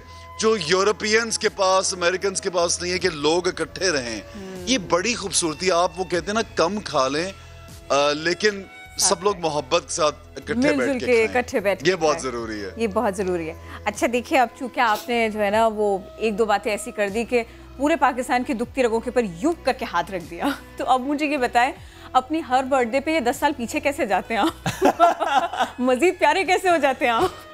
ये मेरा सवाल मेरा सवाल अच्छा, बाद में बहुत सारे लड़कों ने मिलजुल के पूछा है मुझसे कहा कि ये पूछे हाँ कि आप कितना इतना स्मार्ट इतना यंग रहना हो तो क्या करें? बड़ा मसला हो गया मेरी गूगल पे, क्योंकि एज है और हमने जब ये ट्विटर अकाउंट्स और सारे बनाए, आज से कुछ साल पहले तो एज वेज तो लिख दी। तो अब मुझे मेरे एक दो दोस्तों ने बोला कि यार, हर कोई तो एज छुपा रहा होता है तो तू अपनी पूरी तो मैंने कहा, यार, अब तो मैं सबको बता चुका हूँ। यानी कि अगर मैं अब मुकर गया और फिर लोगों ने कहना कि, यार, ये तो फिर छह साल पीछे चला गया। तो इसलिए एज नहीं छुपती और ये है कि पता नहीं यंग ये रहने का ये ज़्यादा बड़ी अचीवमेंट है एहसन ये ज़्यादा बड़ी अचीवमेंट है कि जो- आप एज जो भी हो आप इतने फ्रेश इतने एनर्जेटिक इतने यंग है और वो जो माशाल्लाह। टेन ईयर चैलेंज है उसमें तो दोनों पिक्चर्स में ये पहचानना मुश्किल हो जाएगा कि इनमें से पुरानी कौन सी कोई फ़र्क नहीं है। कोई फ़र्क नहीं है। अच्छा ऐसे बल्कि बल्कि पहली वाली ज़्यादा बुरी है। दस साल पुरानी वाली बुरी पिक्चर है। अब ज़्यादा आप यंग ज़्यादा आप अच्छे लग रहे हैं ठीक ऐसा एक एक टिकटॉक बहुत वायरल हुई है आपकी यूँ तो आपने मुझे कहा ना मैंने पुरानी बात याद रखी मैंने रिसेंट भी याद रखी हुई है। एक टिकटॉक भी वायरल हुई है। लग ये रहा है फ़ैन है आप मीरा के। अच्छा नहीं मैं बिल्कुल हम सब मैं तो आपको पता है सबकी इज़्ज़त और रिस्पेक्ट करता हूँ खास तौर पे मुझे मैं टिकटॉक अकाउंट पे बिल्कुल मुझे टिकटॉक का मालूम ही नहीं था। Okay. लेकिन समहाउ मैं जिन चैनल वालों के साथ काम कर रहा था तो उन्होंने मेरे शो में टिकटॉकर्स बुलाए टू इंटरव्यू देम अब मैंने सोचा कि मैं किसी को जानता नहीं तो how can I interview somebody they were very nice kids very nice people very very talented और एक बात मुझे बड़ी अच्छी लगी बल्कि टिकटॉकर से मिलके जो मैं बहुत लोगों को बताना चाहता हूँ अगर आप कोई भी काम अपनी क्योंकि हमारी फ़ील्ड में भी मेरी फ़ील्ड में भी फिल्म्स में भी टेलीविज़न में भी आपके जानने वालों में भी हर हर एक का अपना अपना एक एम्बिशन होता है कि वो डिग्निफाइड रह के इज्जतदार काम करना चाहता है अपनी फ़ील्ड में रह के या वो कुछ भी कर लेगा कभी भी पैसों के लिए या कर लेगी कोई भी। सो so, मुझे लगता है कि अगर आप डिग्निफाइड अंदाज में कुछ भी कर रहे हैं तो टिकटॉक आप बेशक बनाएँ। One thing which I notice जो मैं सबको बताना चाहता हूँ कि मैंने उनसे ये पूछा कि have you started earning something तो उन्होंने कहा कि कोरोना में क्योंकि हमारी जॉब्स बहुत से लोगों की चली गई और बहुत लोगों के पास काम नहीं तो टिकटॉक वालों के पास तो पैसे आ रहे थे। और मैंने कहा पैसे कैसे आ रहे हैं? उन्होंने कहा जी हमारी क्योंकि फॉलोइंग है तो इंडोर्समेंट्स आती है कि किसी साबुन का इश्तेहार किसी शैम्पू का इश्तेहार किसी ब्रांड का इश्तेहार हमारे पास आता है और हमें पैसे मिलते तो मैंने कहा ये तो जॉब क्रिएट करने का बड़ा ज़बरदस्त Yes. तरीका है। और जो आप टिकटॉक की बात करें वहाँ पे क्योंकि वो ज़िक्र हुआ तो हमने हम तो तारीफ़ सबकी करते हैं यार। अब ज़ाहिर है अगर कोई बुरा लगता भी होगी तो जरा नहीं कहेंगे कि बुरा लगता है। Okay okay. इस बात से मैं क्या अच्छा मतलब? लेकिन बुरा ऐसा लगता नहीं कोई मैं मैं इसमें इस बात से मैं क्या मतलब नहीं है कोई ऐसे। मैं मैं खबर तो निकल आई है अब इसमें से। नहीं नहीं आप आप आप अरे नहीं नहीं बिल्कुल नहीं नहीं कभी भी नहीं। मैं आई रिस्पेक्ट माई को एक्टर्स एंड ऑफकोर्स मीरा हूँ और हमारी जितनी भी एक्ट्रेसेस है रेशम है रीमा है मैविश है अभी की रिसेंट एक्ट्रेसेस जो हैं आई आई थिंक देर और all are super super talented ज़बरदस्त। अच्छा चलिए बहुत आप आप यकीन कीजिए आपको ना जुमले अदा करने भी आते हैं और उनसे बचना भी आता है। ज़बरदस्त वाकई हीरो हैं आप। अब मुझे ये बताइए। आप, आपको मालूम है आप दोनों की मैंने हमेशा आपकी आपकी आपकी जो लैंग्वेज है ना उर्दू की हमेशा तारीफ़ की है। अल्लाह क्या bless बहुत अच्छा बोलते हैं? तो आप मुझे छोड़े आप आप लोग बहुत अच्छा बोलते हैं। आप देखिए आपने बड़े सलीके से एक बार फिर घुमा दिया बात को।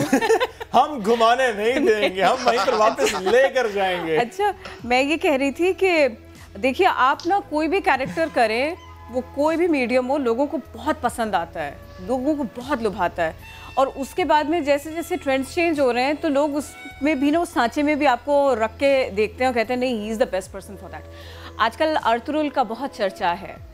वो ड्रामा लोगों को बहुत पसंद आ रहा है, वो काम लोगों को बहुत पसंद आ रहा है, बहुत तारीफ़ हो रही है। अगर वैसा कुछ पाकिस्तान में हो तो ये मैंने कई लोगों से सुना कि फिर तो एहसन खान को होना चाहिए ये एहसन इंतखाब होगा। हम्म। आपका अपना क्या मानना है इस सिलसिले में? अ, मैं समझता हूँ वाकई बहुत अच्छा प्ले है और अ, लोग वाकई में बहुत पसंद करें। आई थिंक कि एक टिपिकल चीज़ से हटके कुछ सामने आया है तो लोगों को पसंद भी आया है। प्लस उसमें एक बड़ा ज़बरदस्त हमारी जो तहजीब सकाफत इस्लामी जो सिलसिला उसमें दिखाया गया वो बड़ा ज़बरदस्त है। हम्म। तो आई थिंक इस तरह के प्लेस पाकिस्तान में बने चाहिए but I would just again say कि ये एक बड़ी बजट की चीज़ है। तो टर्किश इंडस्ट्री या इंडियन इंडस्ट्री हो स्पॉन्सर्स होते तो हमारे यहाँ पे अगर गवर्नमेंट सपोर्ट कर दे हमारे लोगों को उठा के, हमारे बड़े ज़बरदस्त प्रोडक्शन हाउसेज हैं बड़े चैनल्स हैं। बन सकते टैलेंट की बिल्कुल कमी नहीं लेकिन वी थिंक गवर्नमेंट सपोर्ट करे दस बीस तीस आप उसका हिस्सा होंगे ना आपके पास ऐसे ऐसा रोल आपके पास आता है और तो आप अगर- उसको करेंगे ना? और और, और क्या क्या? अगर देखें होगा मैं तो तो हमारा मुझे- कौन होगा? हमारा अर्तुरुल कौन होगा? आप उसमें क्या रोल प्ले करना पसंद करेंगे? देखिए मैं कहता हूँ बस मैं मैं कहता हूँ किसी को भी ले लें ड्रामे में लेकिन ज़रूर बनाए अगर आपको ऑफ़र हो। लेकिन मैं ये बताऊँ कि I am an expert expert in horse riding मैं वही कहने वाली थी। ऐसा कभी नहीं छोड़ूँगा बिल्कुल करूँगा। ठीक है, lastly- इन हॉर्स राइडिंग कोई भी कैरेक्टर ठीक अच्छा है। लास्टली वक्त बड़ा कम है ऐसा एक जुमले में प्लीज़ ये बताइएगा एक तनकीद हो रही है एक एड पर नाच कर बिस्किट बेचना। इस पर आपकी राय क्या है? मैं इससे पहले भी बहुत तनकीद का निशाना अच्छे बनाया जा रहा इसी है तरह के आ चुके उसी ब्रांड के। आपकी राय क्या है इस पे? अरे मैं मुझे तो उस एड में कुछ बुरा नहीं लगा। य- मुझे कोई स्टेप ऐसा वल्गैरिटी के करीब भी नहीं लगा ना उसमें कोई कपड़े ऐसे थे। अब बस ये कि वो बहुत प्रोमिनेंट हो गया। वो I think it's a good luck of the brand कि वो इतना प्रोमिनेंट ऐड हो गया। और वो आजकल कहते हैं कि any publicity is good publicity तो आई थिंक उनके लिए तो नेगेटिव पॉजिटिव पब्लिसिटी सब अच्छी हो गई। बट बट मैं ये कहना चाहता हूँ कि इस तरह के ऐड हमारे सालों से बन रहे हैं पिछले 10-15 साल से तरंग के बिस्किट्स के और बहुत से एड्स हैं जो डांस करके बनते हैं तो इसमें तो कोई? मुझे कुछ ऐप नहीं नज़र आया ठीक है। Son thank you so very much have a great day yes happy birthday once again और आज भी आन बहुत अच्छा ये सबसे अच्छी बात है कि जहाँ। आप कुछ कहना चाह रहे हैं हसन नहीं नहीं थैंक यू आप लोगों को थैंक यू सो मच हूँ। Thank you so much, Ehsan. Once again, have a great birthday this time as well. चलिए जी फ़ौरन से बढ़ जाते हैं। आगे वक्त बड़ा कम है। अर्तुल मिल गया। क्योंकि उन्होंने बता दिया मुझे हॉर्स राइडिंग बहुत अच्छी वो आती फाइट भी बहुत अच्छी कर लेते हैं। यस चलिए जी बनने तो चाहिए लेकिन अगेन स्टेट स्पॉन्सर्ड है वो तो यहाँ पर अगर बनेगा तो स्टेट स्पॉन्सर्ड और होना अच्छा चाहिए। बनेगा। गवर्नमेंट भरोसा रखे। यस नया चलिए। टैलेंट है उस पर भरोसा रखे। नया टैलेंट की बात आपने की है तो नया टैलेंट से मुतालिक खबर हमारी ये है कि जिनकी गेंदों पर अच्छे अच्छे घूम जाए परेशान हो जाएँ कि आई कितों हैं। हम इसकी बात करते हैं। कश्मीर का लेग स्पिनर हसीन वादियों में अपने क्रिकेट स्किल से धूम मचाए। नौजवान आकिब लियाकत इनकी बॉलिंग ने मुल्क भर में धूम मचा दी है। वाह, वाह, वाह। सोशल मीडिया पर आकिब लियाकत की बॉलिंग के वीडियोस वायरल हो रही हैं। आकिब से गुफ्तगू करेंगे लेकिन क्यों ना पहले वीडियो दिखाई जाए।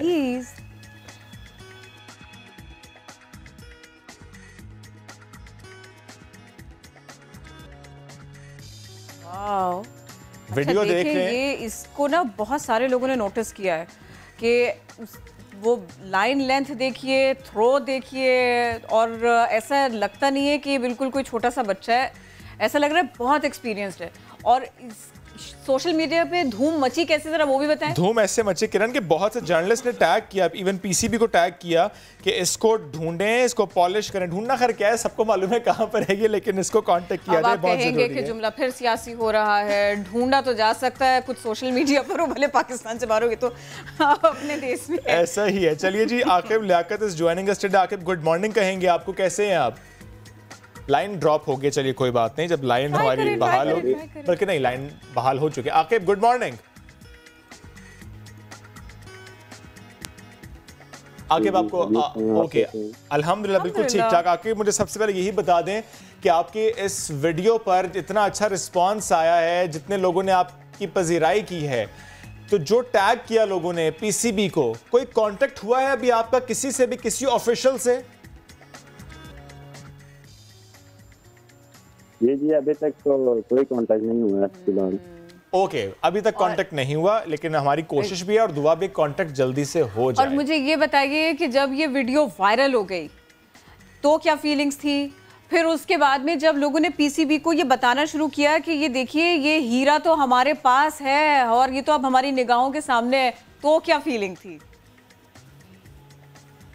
ये जी बहुत खुशी हुई है जब वीडियो वायरल हो गया तो इंशाल्लाह मिल जाएँगे अभी इंशाल्लाह। और ये बताएँ कि इंस्पिरेशन कौन है? आपने जब क्रिकेट शुरू की तो आपको क्या बनना था? एक हीरो होता है ना आपका कि भाई मुझे उनके जैसा बनना है। वो इंस्पिरेशन कौन है? आपका हीरो कौन है? ये जब क्रिकेट शुरू की थी तो सैनवन को देखा और सैनवन को ये देखना देख कर मैंने बॉलिंग स्टार्ट की और सैनवन की तरह बॉलिंग करना मुझे पसंद है। ओके अब मुझे अ, कितने साल से यानी मैं ये यूँ कह दूँ कि बचपन से है शौक खेलना है और क्रिकेट ही खेलना है। ये जी शौक बचपन बचपन से ही है। ओके और इसमें भी आपकी आपका जो फोकस है वो बॉलिंग पे है। व्हाई नॉट बैटिंग जी जी बॉलिंग पे भी है बैटिंग भी करता हूँ। लेकिन ओके लेकिन फोकस आपका बॉलिंग पे है। मुझे बताएँ कितनी बार ऐसे होता है कि जब आप आ, मैच खेल रहे होते हैं ज़ाहिर है दोस्तों का ही मैच होता है आपस में दोस्त बाद में कहे उस वक्त कहे आकर कान में या वैसे भी कि भाई थोड़ा सा ज़रा आसान सा करा दो बॉल। जी जी ऐसा तो कभी नहीं हुआ ऐसा नहीं हुआ। ओके और अ, मुझे ये भी बताइएगा प्रैक्टिस कितनी करते हैं आप? ये मैं दो घंटे डेली प्रैक्टिस करता हूँ हर्ड बॉल की और उसके बाद टेप बॉल खेला करता था हमारे तरह ज़्यादातर पहाड़ी इलाके में उधर ग्राउंड नहीं है इस वजह से टेप बॉल खेली जाती है। ओके वहाँ टेप बॉल खेली जाती है बट आपने हार्ड बॉल प्रैक्टिस की है। और ये कि कभी ऐसा हुआ कि आपने ना बिल्कुल क्लोजली आपने देखा हो कि ये बॉल कैसे कराई गई है ये कैसी थ्रो थी? फिर आपने कहा कि मैं इसको प्रैक्टिस करता हूँ और उसमें आपको अच्छी खासी दिक्कत हुई हो। आप परेशान हो गए हो कि भाई मैं मुझे ये करके दिखाना है लेकिन मैं नहीं कर पा रहा। ऐसा हुआ कभी? जी जी ऐसा हुआ है जब मैं प्रैक्टिस करता था तो काफ़ी मुश्किल पहले तो काफ़ी मुश्किल था गूगली करना और बाद में जब मैंने प्रैक्टिस की तो काफ़ी आसान हो गया। ठीक। आकिब लास्टली विश क्या है आपकी? ज़ाहिर है क्रिकेट से का इतना जुनून है आपको। आई एम श्योर कौमी क्रिकेट टीम की नुमाइंदगी तो आप करना चाहेंगे। यही विश है आपकी या कुछ और विश है? जी जी इंशाल्लाह मैं कौमी टीम को रिप्रेजेंट करूँगा और अपनी मेहनत जारी रखूँगा। इनशाला और एक एक छोटी सी बात और मौका मिल जाए इन आपको मिलेगा मौका, आप कॉमिक टीम को रिप्रेजेंट करेंगे और फिर आप किसी इंटरनेशनल मैच में हों तो आपकी ख्वाहिश क्या है? किस बैट्समैन को इंटरनेशनल बैट्समैन को आप बॉल कराना चाहेंगे? मैं विराट कोहली को बॉलिंग करना पसंद करूँगा अगर चांस विराट कोहली को नहीं होगा उससे ज़बरदस्त। Thank you so much Aqib wish you all the best और अल्लाह करे जल्दी से कांटेक्ट भी बिकॉज़ ज़ाहिर है ये हमारा टैलेंट है और इसके लिए ढूँढने की भी ज़्यादा ज़रूरत नहीं है। बड़ी आसान से मिल जाएगा। बढ़ते हैं आगे लेकिन आगे अगले टॉपिक पर जाने से पहले एक ब्रेक लेते हैं। वेलकम बैक मेंटल हेल्थ की बात करते हैं कल यानी टेंथ अक्टूबर दिमागी सेहत का आलमी दिन मनाया जाएगा और इसका मकसद लोगों को जहनी अमराज और दिमागी सेहत से मुतालिक आगही फराहम करना है। डब्ल्यू एच ओ के मुताबिक लोगों में जहनी अमराज तेज़ी के साथ बढ़ रहे हैं। 2023 तक डिप्रेशन दुनिया का सबसे बड़ा मर्ज होगा जो इंतहाई तशवीशनाक बात है। तो जहनी सेहत कितनी ज़रूरी और इसकी अवेयरनेस कितना बड़ा टास्क है। तस्कीन हेल्थ इनिशिएटिव ने इसी सिलसिले में एक वीडियो तैयार की। हम चाहेंगे कि हम पहले इस वीडियो को देखते हैं और फिर इसी सारे के सारे मामले के ऊपर तफसील के साथ बात करते हैं। वीडियो देख लेते हैं ज़रा जल्दी से। तो ये इतने सारे रिएक्शंस इकट्ठा किए गए तो सिर्फ़ इसलिए इकट्ठा किए गए कि ये वक्त बात करने का है एक दूसरे से। एक दूसरे को अंडरस्टैंड करने का है। ये दोनों मामला एक साथ होंगे तो वाकई इसको हम कहेंगे कि ये अमल हो गया ये प्रैक्टिकल हो गई चीज़ें सारी की सारी। तो अब हम इसी बारे में बात करेंगे advocacy manager Taskeen health initiative Mohammad Ali साहब ने हमको ज्वाइन किया। सलाम thank you so much thank you for having me on the show अच्छा ज़रा मुझे थोड़ा सा ये बताइए अगर हम तीन हिस्सों में इसी सबको डिवाइड करते हैं जहनी उलझन जहनी दबाव और फिर डिप्रेशन तो फिर फिर वन बाय वन अगर हम लेके चले तो ये बताइए मैंने सही कैटेगराइज किया है? ऑब्वियसली इसके बहुत डिफरेंट टाइप्स होते हैं डिफरेंट लेवल्स पे लोगों को अफेक्ट करती है. आई थिंक सबसे बेसिक चीज़ जो लोग जिससे रिलेट करते हैं वो टेंशन का लफ्ज़ है. हम्म। उससे हर कोई रिलेट कर सकता है. उसके बाद स्ट्रेस है जो कि हर किसी को होती है. हम्म। और इन्हीं चीज़ों को फिर आप जिस तरह जिस तरह एम्पलीफाई करने शुरू करेंगे तो पहले दबाव आएगा बोझ आएगा. फिर अगर उसको आप अनचेक छोड़ देंगे काफ़ी देर बाद तो फिर उसको डिप्रेशन के अंदर भी वो तब्दील हो जाता है। Okay. और जैसे जैसे आप जाते हैं आप देखेंगे आपकी एबिलिटी टू फ़ंक्शन और बेसिक चीज़ें करना वो ज़्यादा मुश्किल होती जाती है। मेजर कॉन्ट्रीब्यूटिंग फैक्टर क्या है? इकोनॉमिक कंडीशन है? आई थिंक इस वक्त ऑब्वियसली बहुत चीज़ें इम्पैक्ट करती हैं चीज़ को। कोविड 19 के दौरान हमने देखा इकोनॉमिक फैक्टर्स एक बहुत बड़ा पार्ट प्ले कर रहे थे खासतौर पे अंडर प्रिवलेज कम्युनिटी के लिए। ये बहुत मुश्किल वक्त था इसकी वजह से बड़ा स्ट्रेस था। उसके अलावा आपके घर के अंदर जो आपके ताल्लुक हैं आपके okay. जिस तरह काम के ऊपर अगर बहुत ज़्यादा आप पे प्रेशर है आप काम कर रहे हैं आपके शो के अंदर आपको रेटिंग्स का प्रेशर है हर चीज़ इम्पैक्ट करती है एट डिफरेंट लेवल्स ठीक अब मुझे बताएँ प्लीज़ ये सॉरी किरण लेकिन जब हम बात करते हैं इकोनॉमिक कंडीशंस की लेकिन अब तो हम पिछले कई सालों से ये खबरें रिपोर्ट करते आए हैं बच्चों में भी डिप्रेशन होता है। हालाँकि ज़ाहिर है वो अर्निंग एंड पर नहीं होते। वो भी डिप्रेशन का शिकार होते हैं।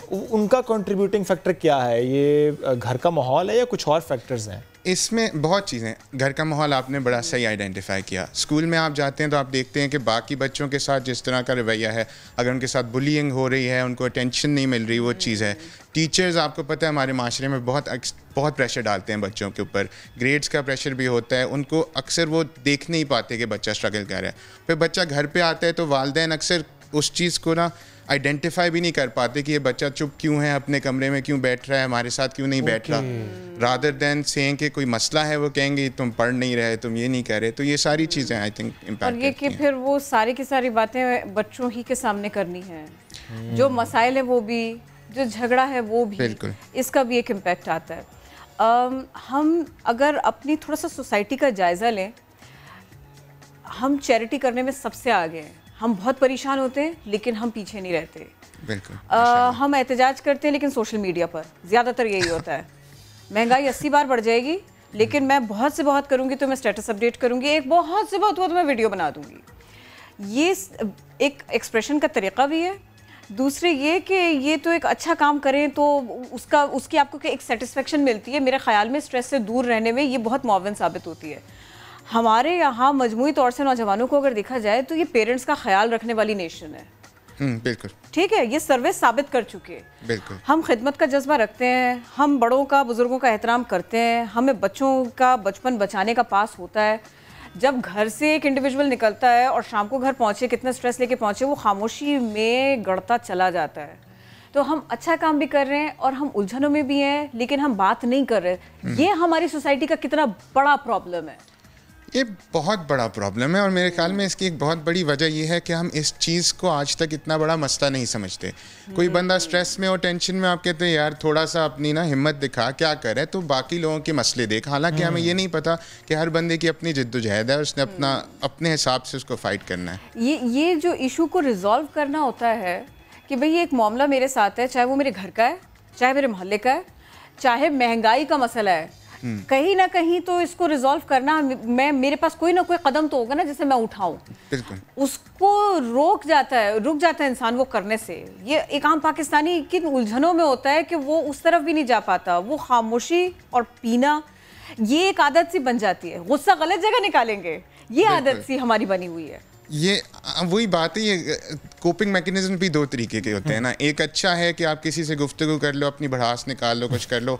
दूसरा है कि आप किसी के ऊपर चढ़ जाओ अपने मतलब गुस्सा निकाल दो। रिएक्ट कर दो। सब्सटेंस अब्यूज कर लो। और फिर झगड़ा आपसे कर लूँगी। और लोगों ये की आदत बन गई हमारी कॉर्पोरेट चेन में तो आपने देखा होगा बहुत होता है कि ऊपर से डांट खाई नीचे डाल दी है। दीज आर ऑल मैनिफेस्टेशन ये बड़ा मसला है। अब मुझे बताएँ कि ज़ाहिर ये मामला तो ऐसे ही हैं अपनी सोसाइटी के भी। जनरली खत्ते की बात में क्या करूँ अराउंड द ग्लोब सिचुएशन ऐसी ही है। ये इश्यूज़ ऐसे ही हैं चाहे वो इकोनॉमिक कंडीशंस हों वो चाहे प्रेशर्स हों वो चाहे फैमिली का स्ट्रक्चर हो उसके मसाइल हों वो चाहे बुलिंग हो इन स्कूल इसको मैनेज करना है और उसको मैनेज करना सिखाना है। मैनेज तो हमने खुद करना है बड़ों बड़ों की बात मैं कर रहा हूँ और बच्चों को हमने सिखाना है। क्योंकि इमोशनल रोबस्ट सोसाइटी बनाने की कोशिश तो हमें करनी है कदम तो बढ़ाना है। क्या करें? बेसिक स्टेप्स क्या हैं? आई थिंक एक तो मैं आपको कहूँगा कि आप बेशक अडल्ट हैं आपने अपने आप को मैनेज करना है पर आपकी जो सराउंडिंग्स में आपके लोग हैं उनको भी चाहिए वो आपको सपोर्ट करें। ओके ठीक है? In addition to this I should be support so that someone else is a support support for you as well और Okay. साथ साथ जनरली हमारे माशरे में ये एक चीज़ बननी चाहिए कि जो टैबू है with regards to mental health ये थोड़ा ख़त्म हो। इवन मेंटल हेल्थ का लफ्ज़ जो है वो थोड़ा उस तरह से प्रॉब्लमेटिक शायद हो जाता थोड़ा है सा बेहतर हुआ है अब तो लोग थोड़ा समझना शुरू हो गए हैं इस बात को कि दिस इज़ अ डिज़ीज़ और उसको हमें ट्रीट करना है। ये ऐसा नहीं है कि आपको पागल कहा जा रहा है। Disease perhaps is also a bit of a strong word पर मैं कहूँगा Okay. एक ऐसा मसला है जो कि हर कोई उसके थ्रू प्रॉब्लम है। गुजर रहा है। I take my word back जरा आपने ज़रूर कहा ये बड़ा स्ट्रॉन्ग वर्ड हो जाता है। कोविड 19 के दौरान खास तौर पे आई थिंक हर किसी ने सर्टेन लेवल पे महसूस किया और पहले भी शायद करते होंगे पर अब क्योंकि घर पे थे और कुछ था नहीं तो उन्हें ज़्यादा उनको फील हुआ कि ये चीज़ अच्छे है एग्जांपल्स भी सामने आए कि लोग एक दूसरे से जब कनेक्ट हुए तो फिर उसके हम्म। बाद में स्ट्रेस कहीं ना कहीं कम भी हुआ। बिल्कुल बिल्कुल। मैनिफेस्ट हुआ इस चीज़ में। तो ये नॉर्मल चीज़ है ये हर किसी के साथ होती है। और अगर फ़िज़िकल हेल्थ पे आप डॉक्टर के पास जा सकते हैं छोटी चीज़ों Why पे लोग चले जाते हैं। जुकाम के लिए लोग चले जाते हैं और ये चीज़ जो उनको खाई जा रही है अंदर से ठीक है। उसके लिए कोई अब तो बहुत काम हो रहा है अब तो हेल्पलाइंस भी हैं ऐसी जहाँ पर आप कॉल करके अपना मसला डिस्कस कर सकते हैं वो एनोनिमिटी भी रहती है तो मसाइल हल हल हो सकते हैं बड़ा easily we have that you know when use any ways thank you so much आप साथ मौजूद थे वक्त बड़ी तेज़ी से खत्म हो आपसे मुलाकात हम मंडे को करेंगे. बेस्ट ऑफ़ नैदन ज़रूर देखिए सैटरडे एंड संडे को. Do give us the feedback wear mask when you go out Allah Hafiz.